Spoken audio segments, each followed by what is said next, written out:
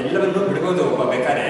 ಆದರೆ ಸತ್ಯ ಅಂತ ಒಂದು ಇದೆಯಲ್ಲ, ಅದನ್ನ ಮಾತ್ರ ಬಿಡಕ್ಕಾಗೋದೇ ಇಲ್ಲ ಅಂತ ಹೇಳ್ತಾರೆ. ತುಂಬ ಚೆನ್ನಾಗಿದೆ ಅವ್ರ ಮಾತು. ಅಂದರೆ ಸತ್ಯ ಅಂತ ಹೇಳಿದ್ರೆ ನಮಗೆ ಬ್ರಹ್ಮಕ್ಕೆ ಸತ್ಯಂ ಜ್ಞಾನಂ ಅನಂತಂ ಬ್ರಹ್ಮ ಅಂತ ಅದಕ್ಕೆ ಸತ್ಯಂ ಅಂತ ಒಂದು ಹೆಸರು ಇದೆ.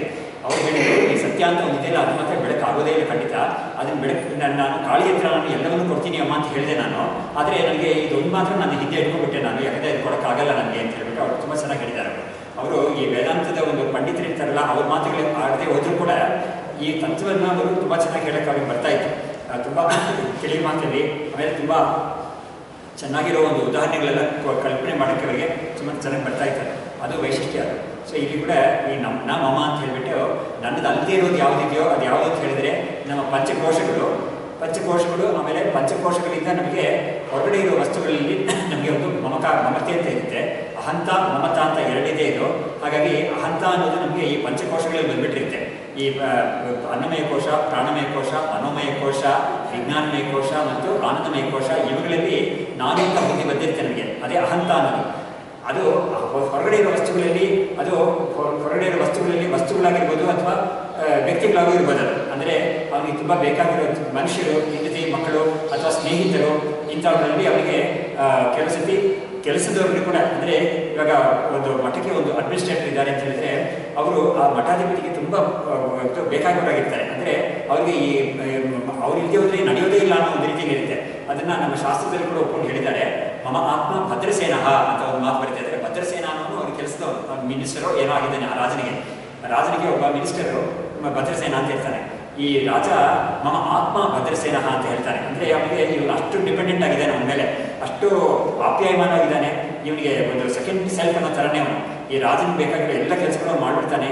ಅವನಿಗೆ ರಾಜ ಏನೇನು ಮನಸ್ಸಲ್ಲಿ ಅನ್ಕೊಂಡಿರ್ತಾನೋ ಅದನ್ನೆಲ್ಲ ಇವನು ಹೇಳಿದೆ ಅಂತ ಕೂಡ ಅವನಿಗೆ ಗೊತ್ತಿರುತ್ತೆ. ಅದನ್ನ ಹಾಗಾಗಿ ಅವನು ಚೆನ್ನಾಗಿ ಮಾಡ್ಬಿಡ್ತಾನೆ ಹಾಗಾಗಿ ಅಂತ ಕೆಲವರು ನಮ್ಮಿಂದ ಹೊರಗಡೆ ಇರೋ ವಿಷಯದಲ್ಲಿ ಕೂಡ ನಮಗೆ ನಾನು ಅಂತ ಬುದ್ಧಿ ಬಂದಿರುತ್ತೆ. ಬಟ್ ಆ ನಾನು ಗೌಣ ಆತ್ಮ ಅಂತ ತೋರಿಸಿದ್ದಾರೆ ಅದು ಬೇರೆ ವಿಷಯ. ಬಟ್ ಯಾವ್ದು ಹೇಳಿದೆ ಅಂದರೆ ಈ ಪಂಚಕೋಶಗಳಲ್ಲಿ ನಮಗೆ ನಾನು ಅಂತ ಬುದ್ಧಿ ಬಂದಿರುತ್ತೆ. ಆದರೆ ಅದಕ್ಕೆ ಮಿಥ್ಯಾತ್ಮ ಅಂತ ಹೆಸರು ನೋಡಿ ಮೂರು ಶಬ್ದಗಳಿದೆ ನಿಮಗೆ ಬೇಕಾದ್ರೆ ಬರ್ಕೋಬೋದು. ಮುಖ್ಯಾತ್ಮ, ಮಿಥ್ಯಾತ್ಮ, ಗೌಣಾತ್ಮ ಅಂತ ಮೂರಿದೆ. ಮಿಥ್ಯಾತ್ಮ ಅಹ್, ಮುಖ್ಯಾತ್ಮ ಮಿಥ್ಯಾತ್ಮ ಮತ್ತು ಗೌಣಾತ್ಮ ಅಂತ.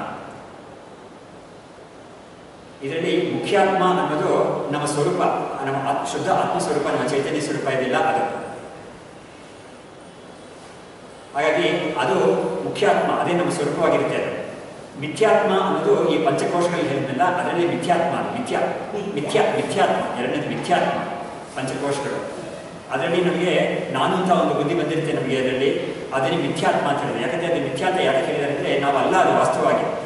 ಆಮೇಲೆ ಶಾಸ್ತ್ರ ನಮಗೆ ಏನು ಹೇಳ್ಕೊಡ್ತಾ ಇದೆ, ಅದನ್ನ ನೀನು, ಅದರಲ್ಲಿ ಇರೋ ನಿಮಗೆ ಒಂದು ಆತ್ಮಬುದ್ಧಿಯನ್ನು ಬಿಡಬೇಕು ಅಂತ ತೋರಿಸ್ಕೊಡ್ತಾ ಇದ್ದಾರೆ. ಅದನ್ನು ಮಿಥ್ಯಾತ್ಮ ಅದು. ಸರಿ, ಗೌಣಾತ್ಮ ಅನ್ನೋದು ಯಾವುದು ಅಂತ ಹೇಳಿದ್ರೆ ನಾನು ಹೇಳಿದ್ನಲ್ಲ, ಈ ಆತ್ಮ ಭದ್ರಸೇನ ಅಂತ ಹೇಳುವಾಗ ಅವನಿಗೆ, ನಾನೇ ಇವನು ಅಂತ ಹೇಳ್ತಾನೆ ಅವನು. ಅಂದರೆ ನನಗೆ ನಾನು ಅಷ್ಟೊಂದು ಇವನಿಗೆ ಹಚ್ಕೊಂಡ್ಬಿಟ್ಟಿದ್ದಾನೆ ನನ್ನ ಅದೇ ಥರ ಹೆಂಡತಿ ಮಕ್ಕಳಲ್ಲಿ ಕೂಡ ಒಬ್ಬರಿಗೆ ನಾನು, ನಾನೇ ಅಂತ ಒಂದು ಬುದ್ಧಿ ಬಂದಿರುತ್ತೆ. ಅದು ಗೌಣಾತ್ಮ ಅಂತ ಅದು. ಗೌಣಾತ್ಮ ಅನ್ನೋದಕ್ಕೆ ಏನು ಒಂದು ವ್ಯತ್ಯಾಸ ಅಂತ ಹೇಳಿದ್ರೆ, ಅವರಿಗೆ ಆ ಹೇಳೋನಿಗೆ ಕೂಡ ಗೊತ್ತಿರುತ್ತೆ ಇದು ನಾನು ಅಲ್ಲ ಅಂತ ಗೊತ್ತಿರುತ್ತೆ. ಹಾಗಿದ್ರೂ ಕೂಡ ಅವನು ನನಗೆ ತುಂಬ ಬೇಕಾದ ಒಂದು ರೀತಿಯಲ್ಲಿ ನಾನೇ ಅಂತ ಹೇಳ್ಕೊಳ್ತಾನ ಹಾಗಾಗಿ ಅದು ಕಂಡುಹಿಡಿಬೋದು ಎಲ್ಲರೂ ಅವ ಗೌಣಾತ್ಮ ವಿಷಯದಲ್ಲಿ, ಹೆಂಡತಿ ಮಕ್ಕಳ ವಿಷಯದಲ್ಲಿ ಅವನಿಗೆ ಎಷ್ಟೇ ಅವನಿಗೆ ಒಂದು ಪ್ರೀತಿ ಇದ್ರೂ ಕೂಡ ಅವನಿಗೆ ತಾನಲ್ಲ ಅಂತ ಗೊತ್ತಿರುತ್ತೆ ಅವ್ರ ಮೇಲೆ.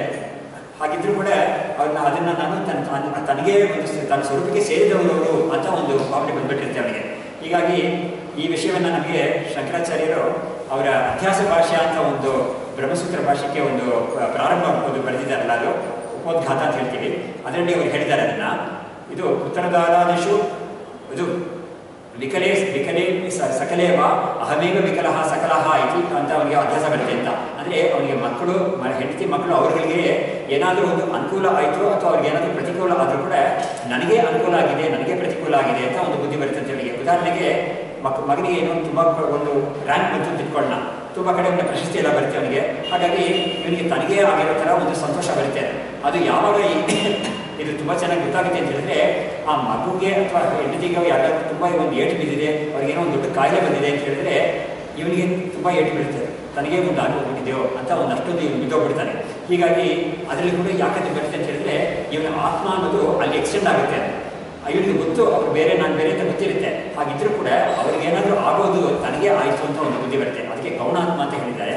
ಹಾಗಾಗಿ ನಮ್ಮ ಶಾಸ್ತ್ರದಲ್ಲಿ ಮೂರು ತಿರುವಾದ ಆತ್ಮವನ್ನು ಬಿಂಬಿಸಬೇಕು ಹೇಳಿದ್ದಾರೆ. ಮುಖ್ಯಾತ್ಮ, ನಿತ್ಯಾತ್ಮ, ಗೌಣಾತ್ಮ ಅಂತ. ಮುಖ್ಯಾತ್ಮ ಇನ್ನರ್ಮೋಸ್ಟ್ ಸೆಲ್ಫ್, ಪಂಚಕೋಶಾಂತರ ಸ್ಥಿತ ಅಂತ ನಾವು ಅಮ್ಮನವರಿಗೆ ಹೆಸರು ಹೇಳ್ತೀವಲ್ಲ, ಅದು ಮುಖ್ಯಾತ್ಮ. ಪಂಚಕೋಶಗಳಲ್ಲಿ ನಾನು ಅಂತ ಬುದ್ಧಿ ಬರ್ತಾ ಇದೆಯಲ್ಲ, ಅದೇ ಒಂದು ವ್ಯಕ್ತಿ ಅಂತ ಹೊರಗಡೆ ಹೇಳ್ಕೊಡ್ತಾನೆ. ಅವನಿಗೆ ಸಂಸ್ಕೃತದಲ್ಲಿ, ಅಂದರೆ ನಮ್ಮ ವೇದಾಂತದಲ್ಲಿ ಪ್ರಮಾತೃ ಅಂತ ಅವನಿಗೆ ಹೆಸರು ಬೇಕಾದ್ರೆ ಬರ್ಕೋಬಹುದು ಮಿಥ್ಯಾತ್ಮ ಅಂತ ಇದೆಯಲ್ಲ, ಅದರಲ್ಲಿ ಪ್ರಮಾತೃ ಅಂತ ಬುದ್ಧಿ ಅವನಿಗೆ ಅದರಲ್ಲೇ ಬರೋದು ನಮಗೆ. ಮಿಥ್ಯಾತ್ಮ ಅನ್ನೋದಲ್ಲೇ ಪ್ರಮಾತೃ ಅಂತ ಬರೋದು ಬರೋದು ಆ ಪ್ರಮಾತೃ ಅನ್ನೋದು ಯಾರು ಅಂತ ಹೇಳಿದ್ರೆ, ಪ್ರಪಂಚದಲ್ಲಿ ಏನೇನು ವಿಷಯಗಳಿದೆಯೋ ಅದನ್ನು ತಿಳ್ಕೊಳ್ಳೋನು ಆಮೇಲೆ ಇಂಟ್ರಾಕ್ಟ್ ಮಾಡೋನು ನಾನು ತಿಳ್ಕೊಳ್ಳೋನು ನನಗೆ ಪಂಚಕೋಶಗಳಿದೆ, ಆಮೇಲೆ ಪಂಚ ಇಂದ್ರಿಯಗಳಿದೆ ನಾನು. ಈ ಇಂದ್ರಿಯಗಳಿಂದ ನಾನು ಹೊರಗಡೆ ಇರೋ ಪ್ರಪಂಚದಲ್ಲಿ ನಾನು ಇಂಟ್ರಾಕ್ಟ್ ಮಾಡ್ತಾ ಇದ್ದೀನಿ. ಅದರಿಂದ ಒಂದು ಜ್ಞಾನವನ್ನು ಪಡ್ಕೊಳ್ತಾ ಇದ್ದೀನಿ. ಅಥವಾ ಅದರಿಂದ ಏನೋ ಒಂದು ಭೋಗವನ್ನು ಪಡ್ಕೊಳ್ತಾ ಇದ್ದೀನಿ. ಇಂಥ ಒಂದು ತಿಳುವಳಿಕೆ ಎಲ್ಲ ಇದೆಯಲ್ಲ, ಅವನಿಗೆ ಪ್ರಮಾತೃ ಅಂತ ಹೇಳಿದ್ದಾರೆ. ಅವನು ಯಾರು ಅಂತ ಹೇಳಿದ್ರೆ, ಆತ್ಮದ ಕಲಬೆರಕೆ ಇದೆ ಅದರಲ್ಲಿ. ಶುದ್ಧಾತ್ಮನ ಕಲಬೆರಕೆ ಇದೆ. ಏಕೆಂದರೆ ಶುದ್ಧಾತ್ಮ ಚೈತನ್ಯವನ್ನು ಕೊಡಬೇಕಾಗುತ್ತೆ ಎಲ್ಲದಕ್ಕೂ ಆ ಚೈತನ್ಯವನ್ನು ತಗೊಂಡು ಅವನೇನು ಮಾಡ್ತಾನೆ, ಗೊತ್ತಿಲ್ಲದೆ ತನ್ನ ಶುದ್ಧ ಆತ್ಮ ಮಿಥ್ಯ, ಮುಖ್ಯ ಆತ್ಮ ಅನ್ನೋದ್ರಲ್ಲೇ ಐಡೆಂಟಿಫೈ ಮಾಡ್ಕೋಬೇಕಾಗಿತ್ತು. ಆದರೆ ಅದು ಗೊತ್ತಿಲ್ಲದೆ ಏನ್ ಮಾಡ್ತಾನೆ ಪಂಚಕೋಶಗಳಲ್ಲಿ ನಾನು ಅಂತ ಒಂದು ಬುದ್ಧಿ ಬಂದ್ಬಿಡುತ್ತೆ. ಹಾಗಾಗಿ ಅವನ್ನ ಪ್ರಮಾತೃ ಅಂತ ಕರೀತಾರೆ. ಶುದ್ಧ ಚೈತನ್ಯ ಪ್ರಮಾತೃ ಅಲ್ಲವೇ ಇಲ್ಲ. ಅದು ಪ್ರಮಾತೃ, ಪ್ರಮಾಣ, ಪ್ರಮೇಯ ಅಂತ ಒಂದು ಮೂರು ತ್ರಿಪುಟಿ ಅಂತ ಇದೆಯಲ್ಲ, ಆ ಒಂದು ಆಕ್ಟಿವಿಟಿ ಆತ್ಮನಿಗೆ ಇಲ್ವೇ ಇಲ್ಲ ಖಂಡಿತ. ಈ ಮೂರು ಇರೋದಕ್ಕೆ ಪ್ರಮಾತೃ ಆಗೋಗ್ಬಿಟ್ರೆ ಖಂಡಿತ ಅವನಿಗೆ ಪ್ರಮಾಣಗಳು ಇದೆ ಅವನಿಗೆ. ಯಾವುದು ಹೇಳಿದ್ರೆ ಈ ಕಣ್ಣು, ಕಿವಿ, ಮೂಗು, ಮನಸ್ಸು ಇದೆಲ್ಲ ಇದೆಲ್ಲ ಅದೆಲ್ಲ ಅವನಿಗೆ ಸೇರ್ಕೊಂಡಿರೋದ್ರಿಂದ ಅವನು ಪ್ರಮಾತೃ ಅಂತ ಕರಿತೀವಿ ಅವನ್ನ ಮಾಡ್ತಾನೆ? ಪ್ರಮಾಣದ, ಪ್ರಮಾಣಗಳ ಮುಖಾಂತರ, ಪ್ರಮಾಣ ಅಂದ್ರೆ ಈ ಇಂದ್ರಿಯಗಳು. ಅದರ ಮುಖಾಂತರ ಅವನೇನ್ ಮಾಡ್ತಾನೆ? ಪ್ರಮೇಯ ಪದಾರ್ಥ ಅಂತ ಪ್ರಪಂಚ ಇದೆಯಲ್ಲ, ಅದ್ರ ಜೊತೆಗೆ ಅವನು ಇಂಟ್ರಾಕ್ಟ್ ಮಾಡ್ತಾನೆ. ಹಾಗಾಗಿ ಪ್ರಮಾತೃ, ಪ್ರಮಾಣ, ಪ್ರಮೇಯ. ಆ ಪ್ರಮಾತೃವಲ್ಲೇ ಸೇರಿರೋದು ಇಂದ್ರಿಯಗಳು. ಹಾಗಾಗಿ ಆಮೇಲೆ ಹೊರಗಡೆ ಇರೋ ವಸ್ತುಗಳೆಲ್ಲ ಪ್ರಮೇಯ ವಸ್ತುಗಳು ಆಬ್ಜೆಕ್ಟ್ಸ್ಗಳು ಆಬ್ಜೆಕ್ಟ್ಸ್ ಜೊತೆ ಇವನು ಏನಾದರೂ ಇಂಟ್ರಾಕ್ಟ್ ಮಾಡಬೇಕಾದ್ರೆ ಈ ಪ್ರಮಾಣಗಳ ಮುಖಾಂತರ ಮಾಡಬೇಕಾಗುತ್ತೆ. ಒಂದು ಒಳ್ಳೆ ಚಿತ್ರ ಇದೆ, ಅದನ್ನು ಇವನು ನೋಡಬೇಕಾದ್ರೆ ಕಣ್ಣಿಂದ, ಕಣ್ಣು ತೆಗಿಬೇಕಾಗುತ್ತೆ ಇವನು. ಹಾಗಾಗಿ ನಾನು ನನ್ನ ಕಣ್ಣನ್ನು ತೆಗಿತೀನಿ, ಅದನ್ನು ನೋಡಬೇಕಾಗುತ್ತೆ ಅವರಿಗೆ ಅದನ್ನು ನೋಡಬೇಕು ಅಂತ ಒಂದು ಆಸೆ ಬರುತ್ತೆ ಅವರಿಗೆ ಯಾರೋ ಹೇಳ್ತಾರೆ, ತುಂಬ ಚೆನ್ನಾಗಿರೋ ಚಿತ್ರ ಇದೆ, ಇಟ್ಟಿದ್ದೀವಪ್ಪ, ನೋಡೋದನ್ನ ಹೋಗಿ ಅಂತ ಹೇಳ್ತಾರೆ.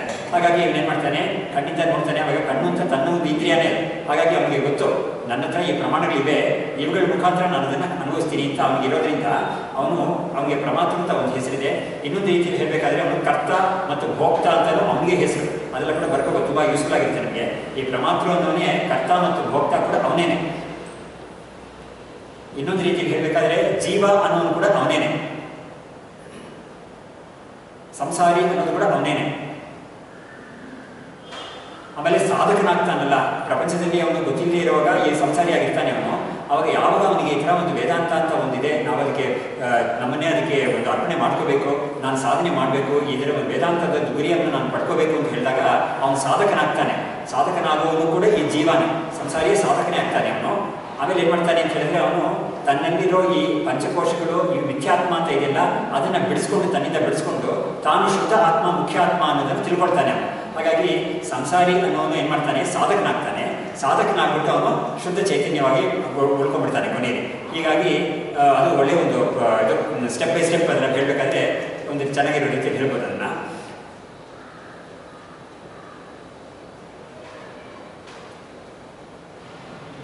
ಅಂತ ಇವನೇನು ಸಾಧಕ ಅಂತ ಬಂದಾಗ ಅವನು ಏನ್ ಮಾಡ್ತಾನೆ? ನಮಃ ಅಂತ ಹೇಳುವಾಗ ಅವನು ತನ್ನಲ್ಲಿರುವ ಈ ಪಂಚಕೋಶಗಳೆಲ್ಲ ಕೂಡ ತನ್ನದಲ್ಲ ಅಂತ ಒಂದು ಐಡೆಂಟಿಫಿಕೇಶನ್ ಅವನಿಗೆ ಶಾಸ್ತ್ರದಿಂದ ತಿಳಿದಿರುತ್ತೆ, ಪರೋಕ್ಷ ಜ್ಞಾನ ಬಂದಿರುತ್ತೆ ಅವನಿಗೆ. ಹಾಗೆ ಅವನೇನು ಮಾಡ್ತಾನೆ, ಇದನ್ನು ಬಿಡಿಸ್ಕೊಳ್ಳೋಕ್ಕೆ ಆದಷ್ಟು ಪ್ರಯತ್ನ ಮಾಡ್ತಾನೆ. ಒಂದೊಂದು ಕ್ಷಣದಲ್ಲೂ ಕೂಡ, ಒಂದೊಂದು ವ್ಯವಹಾರ ಮಾಡೋದ್ರಲ್ಲೂ ಕೂಡ ಅವನು ತನ್ನ ಸ್ವರೂಪ ಯಾವುದು ಅನ್ನೋದನ್ನ ನಿಗಾ ಇಟ್ಕೊಂಡೇ ಇರ್ತಾನೆ. ತನ್ನ ಸ್ವರೂಪ ಯಾವುದು ಅಲ್ಲ ಅನ್ನೋದನ್ನು ಕೂಡ ನಿಗಾ ಇಟ್ಕೊಂಡಿರ್ತಾನೆ. ಅದರಲ್ಲಿ ನಾವು ಬಿಡಬಾರ್ದು ಅಂತ ಕೂಡ ಅವನಿಗೆ ಕೇರ್ಫುಲ್ ಆಗಿರ್ತಾನೆ ತುಂಬ. ಹಾಗಾಗಿ ಅಂಥ ಒಂದು ಜಾಗರೂಕತೆ ಇರ್ತಾ ಇರ್ತಾನಲ್ಲ, ಅವನನ್ನು ನಾವು ಸಾಧಕ ಅಂತ, ಸರಿಯಾದ, ಶುದ್ಧವಾದ ಸಾಧಕ ಅಂತ ಹೇಳ್ತೀವಿ.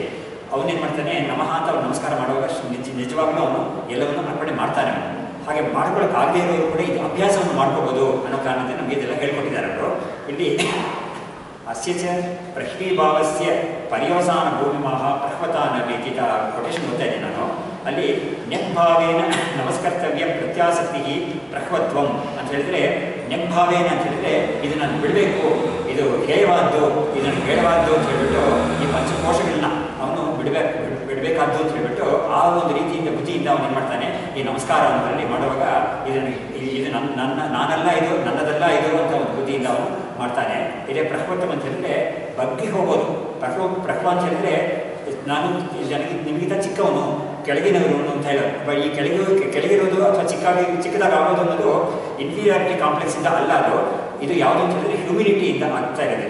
ಅದು ಅಂದ್ರೆ ಒಂದು ಸರಿಯಾದ ಒಂದು ಭಕ್ತಿ ಭಾವನೆಯಿಂದ ಅದು ಆಗೋದು. ನೀನೇ ಅಂದ್ರೆ ತೊಮ್ಮಂತ ಯಾವುದು ಶುದ್ಧ ಚೈತನ್ಯ ಇದೆಯೋ, ಆ ಶುದ್ಧ ಚೈತನ್ಯವನ್ನೇ ಅಲ್ಲಿ ತೊಮ್ಮಾಗಿ ಕಾಣ್ತಾ ಇದ್ದಾನೆ ಅವನು, ಗುರುಗಳಲ್ಲೋ, ಭಕ್ತಿ, ಭಗವಂತನಲ್ಲೋ. ಹಾಗಾಗಿ ಅದೇ ಇರೋದು, ಇದಿಲ್ಲ ವಾಸ್ತವವಾಗಿ ಅಂತ ನೋಡ್ಕೊಂಡು ಇದನ್ನ ತುಂಬಾ ತುಂಬಾ ಚಿಕ್ಕದು ಮಾಡ್ಕೊಂಡ್ಬಿಡ್ತಾನೆ ಅದನ್ನ ಅದನ್ನ ಪೂರ್ತಿ ಅಳಿಸ್ಕೊಂಡ್ಬಿಡ್ತಾನೆ ಇದನ್ನ.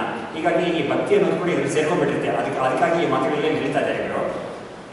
ತಚ್ಚ ಮಾಯೆಯ ಪರಿಶಿವ, ಪರಶಿವ ಸ್ವರೂಪ ಸ್ವರೂಪ परिकल्पितस्य ಪರಿಕಲ್ಪಿತಸ್ಯ ಜೀವಸ್ಯ ಪುನಃ ತತ್ ಸ್ವರೂಪೇಣ ತಾದಾತ್ಮ್ಯ ಲಕ್ಷಣೆ ಸಂಬಂಧೆ ವಿಶ್ರಾಮ್ಯತಿ ಇತ್ಯರ್ಥಃ ಅಂತ ಹೇಳಿದ್ರೆ ಅದೇನಾಗುತ್ತೆ ಈ ಪ್ರಕೃತಿ ಭಾವ ಅಂತ ಒಂದಿದೆಯಲ್ಲ ನಾನು ಚಿಕ್ಕವನಾಗಿದ್ದೀನಿ ಅಂತ ಒಂದು ಭಾವ ಅವನಿಗೆ ಬರ್ತಲ್ಲ, ಅದು ಎಲ್ಲಿ ಹೋಗಿ ಮುಗಿಯುತ್ತೆ ಕೊನೆಯಲ್ಲಿ ಅಂತ ಕೇಳಿದ್ರೆ, ತಾನು ತನ್ನನ್ನು ಪ್ರ- ಪ್ರ- ಪರಬ್ರಹ್ಮ ಸ್ವರೂಪದಿಂದ ತನ್ನನ್ನು ಬೇರೆಯಾಗಿ ಅನ್ಕೊಂಡ್ಬಿಟ್ಟಿದ್ದ ಮೊದಲು ಗೊತ್ತಿಲ್ಲದೆ ಇವಾಗ ಏನ್ ಮಾಡ್ತಾನೆ?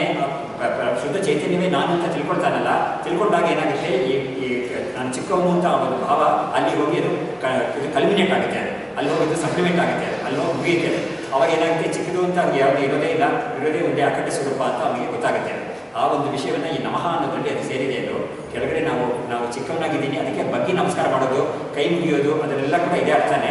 ಸಾಷ್ಟಾಂಗ ನಮಸ್ಕಾರ ಅಥವಾ ನಾವು ಬೇರೆ ಮಹಿಳೆಯರು ಮಾಡ್ತಾರಲ್ಲ, ಆ ಥರ ನಮಸ್ಕಾರ ಎಲ್ಲದಕ್ಕೂ ಕೂಡ ಇದೇ ಅರ್ಥನೇ. ಅದಕ್ಕಿಂತ ನಾನು ಬಗ್ಗಿದ್ದೀನಿ. ಅಂದರೆ ಇದನ್ನು ನಾನು ಬಿಡ್ತಾ ಇದ್ದೀನಿ ಅಂತ ಒಂದು ರೀತಿಯಲ್ಲಿ ಅದನ್ನು ತೋರಿಸ್ಕೊಡ್ಬೇಕು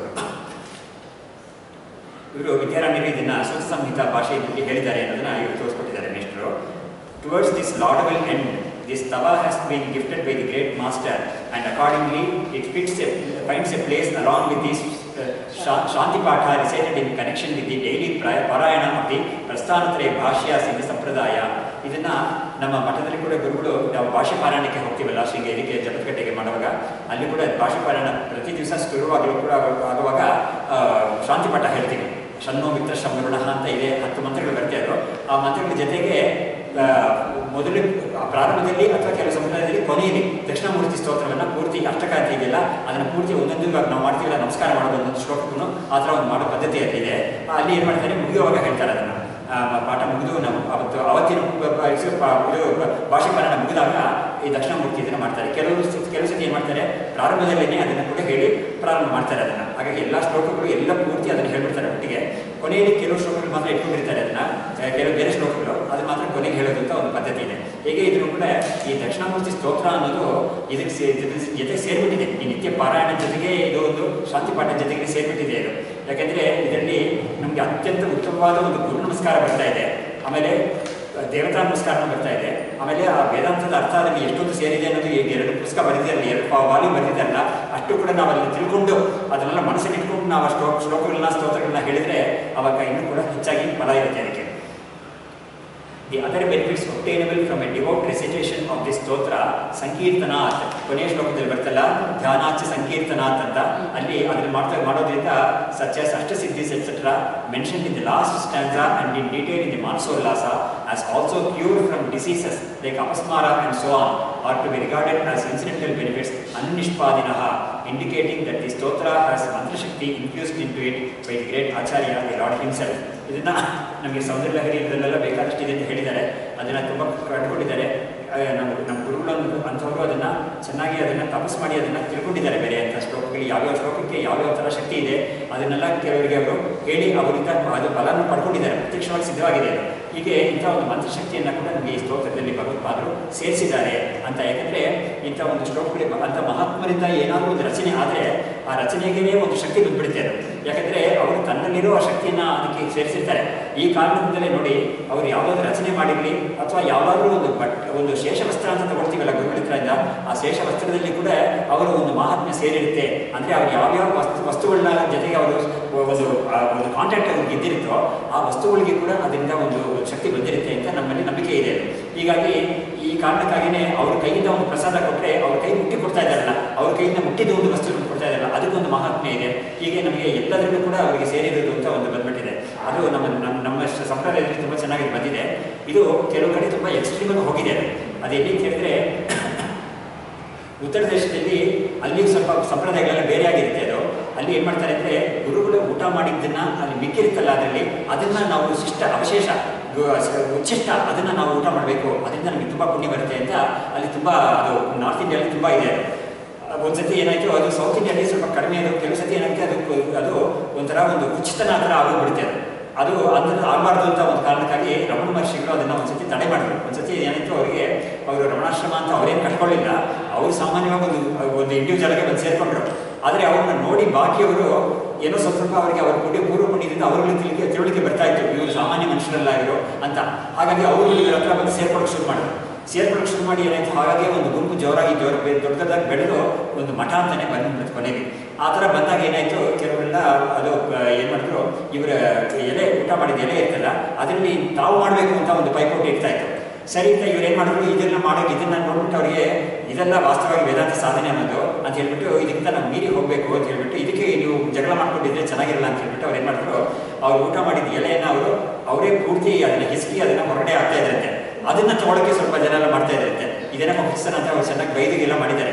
ಇದು ಮಾತ್ರ ಅಲ್ಲ ಅವ್ರು ಸ್ನಾನ ಮಾಡಿಬಿಟ್ಟು ಆಚೆ ನೀರು ಬರ್ತಲ್ಲ ಅದನ್ನ ಪ್ರೋಕ್ಷಣೆ ಮಾಡ್ಕೊಳ್ಬೇಕು ಅಂತೆಲ್ಲ ಕೂಡ ಕೆಲವರನ್ನ ಮಾಡಿ ಅದಕ್ಕೆಲ್ಲ ಕೂಡ ಬೈದಾಗ ಬೈದೆಲ್ಲ ಮಾಡಿದ್ದಾರೆ ಅಂತ ಬರುತ್ತೆ ಏನೇ ಹೇಳಿದ್ರು ಕೂಡ ಇದು ನಮ್ಮ ಇದರಲ್ಲಿ ಈ ಥರ ಒಂದು ಅವ್ರ ಕಾಂಟ್ಯಾಕ್ಟ್ ಇದ್ದಿದ್ದು ಒಂದು ವಸ್ತು ಅನ್ನೋದು, ಅದಕ್ಕೆ ಒಂದು ಒಂದು ತುಂಬ ಒಂದು ಒಳ್ಳೆ ಒಂದು ಬೆಲೆ ಇದೆ ಇದಕ್ಕೆ.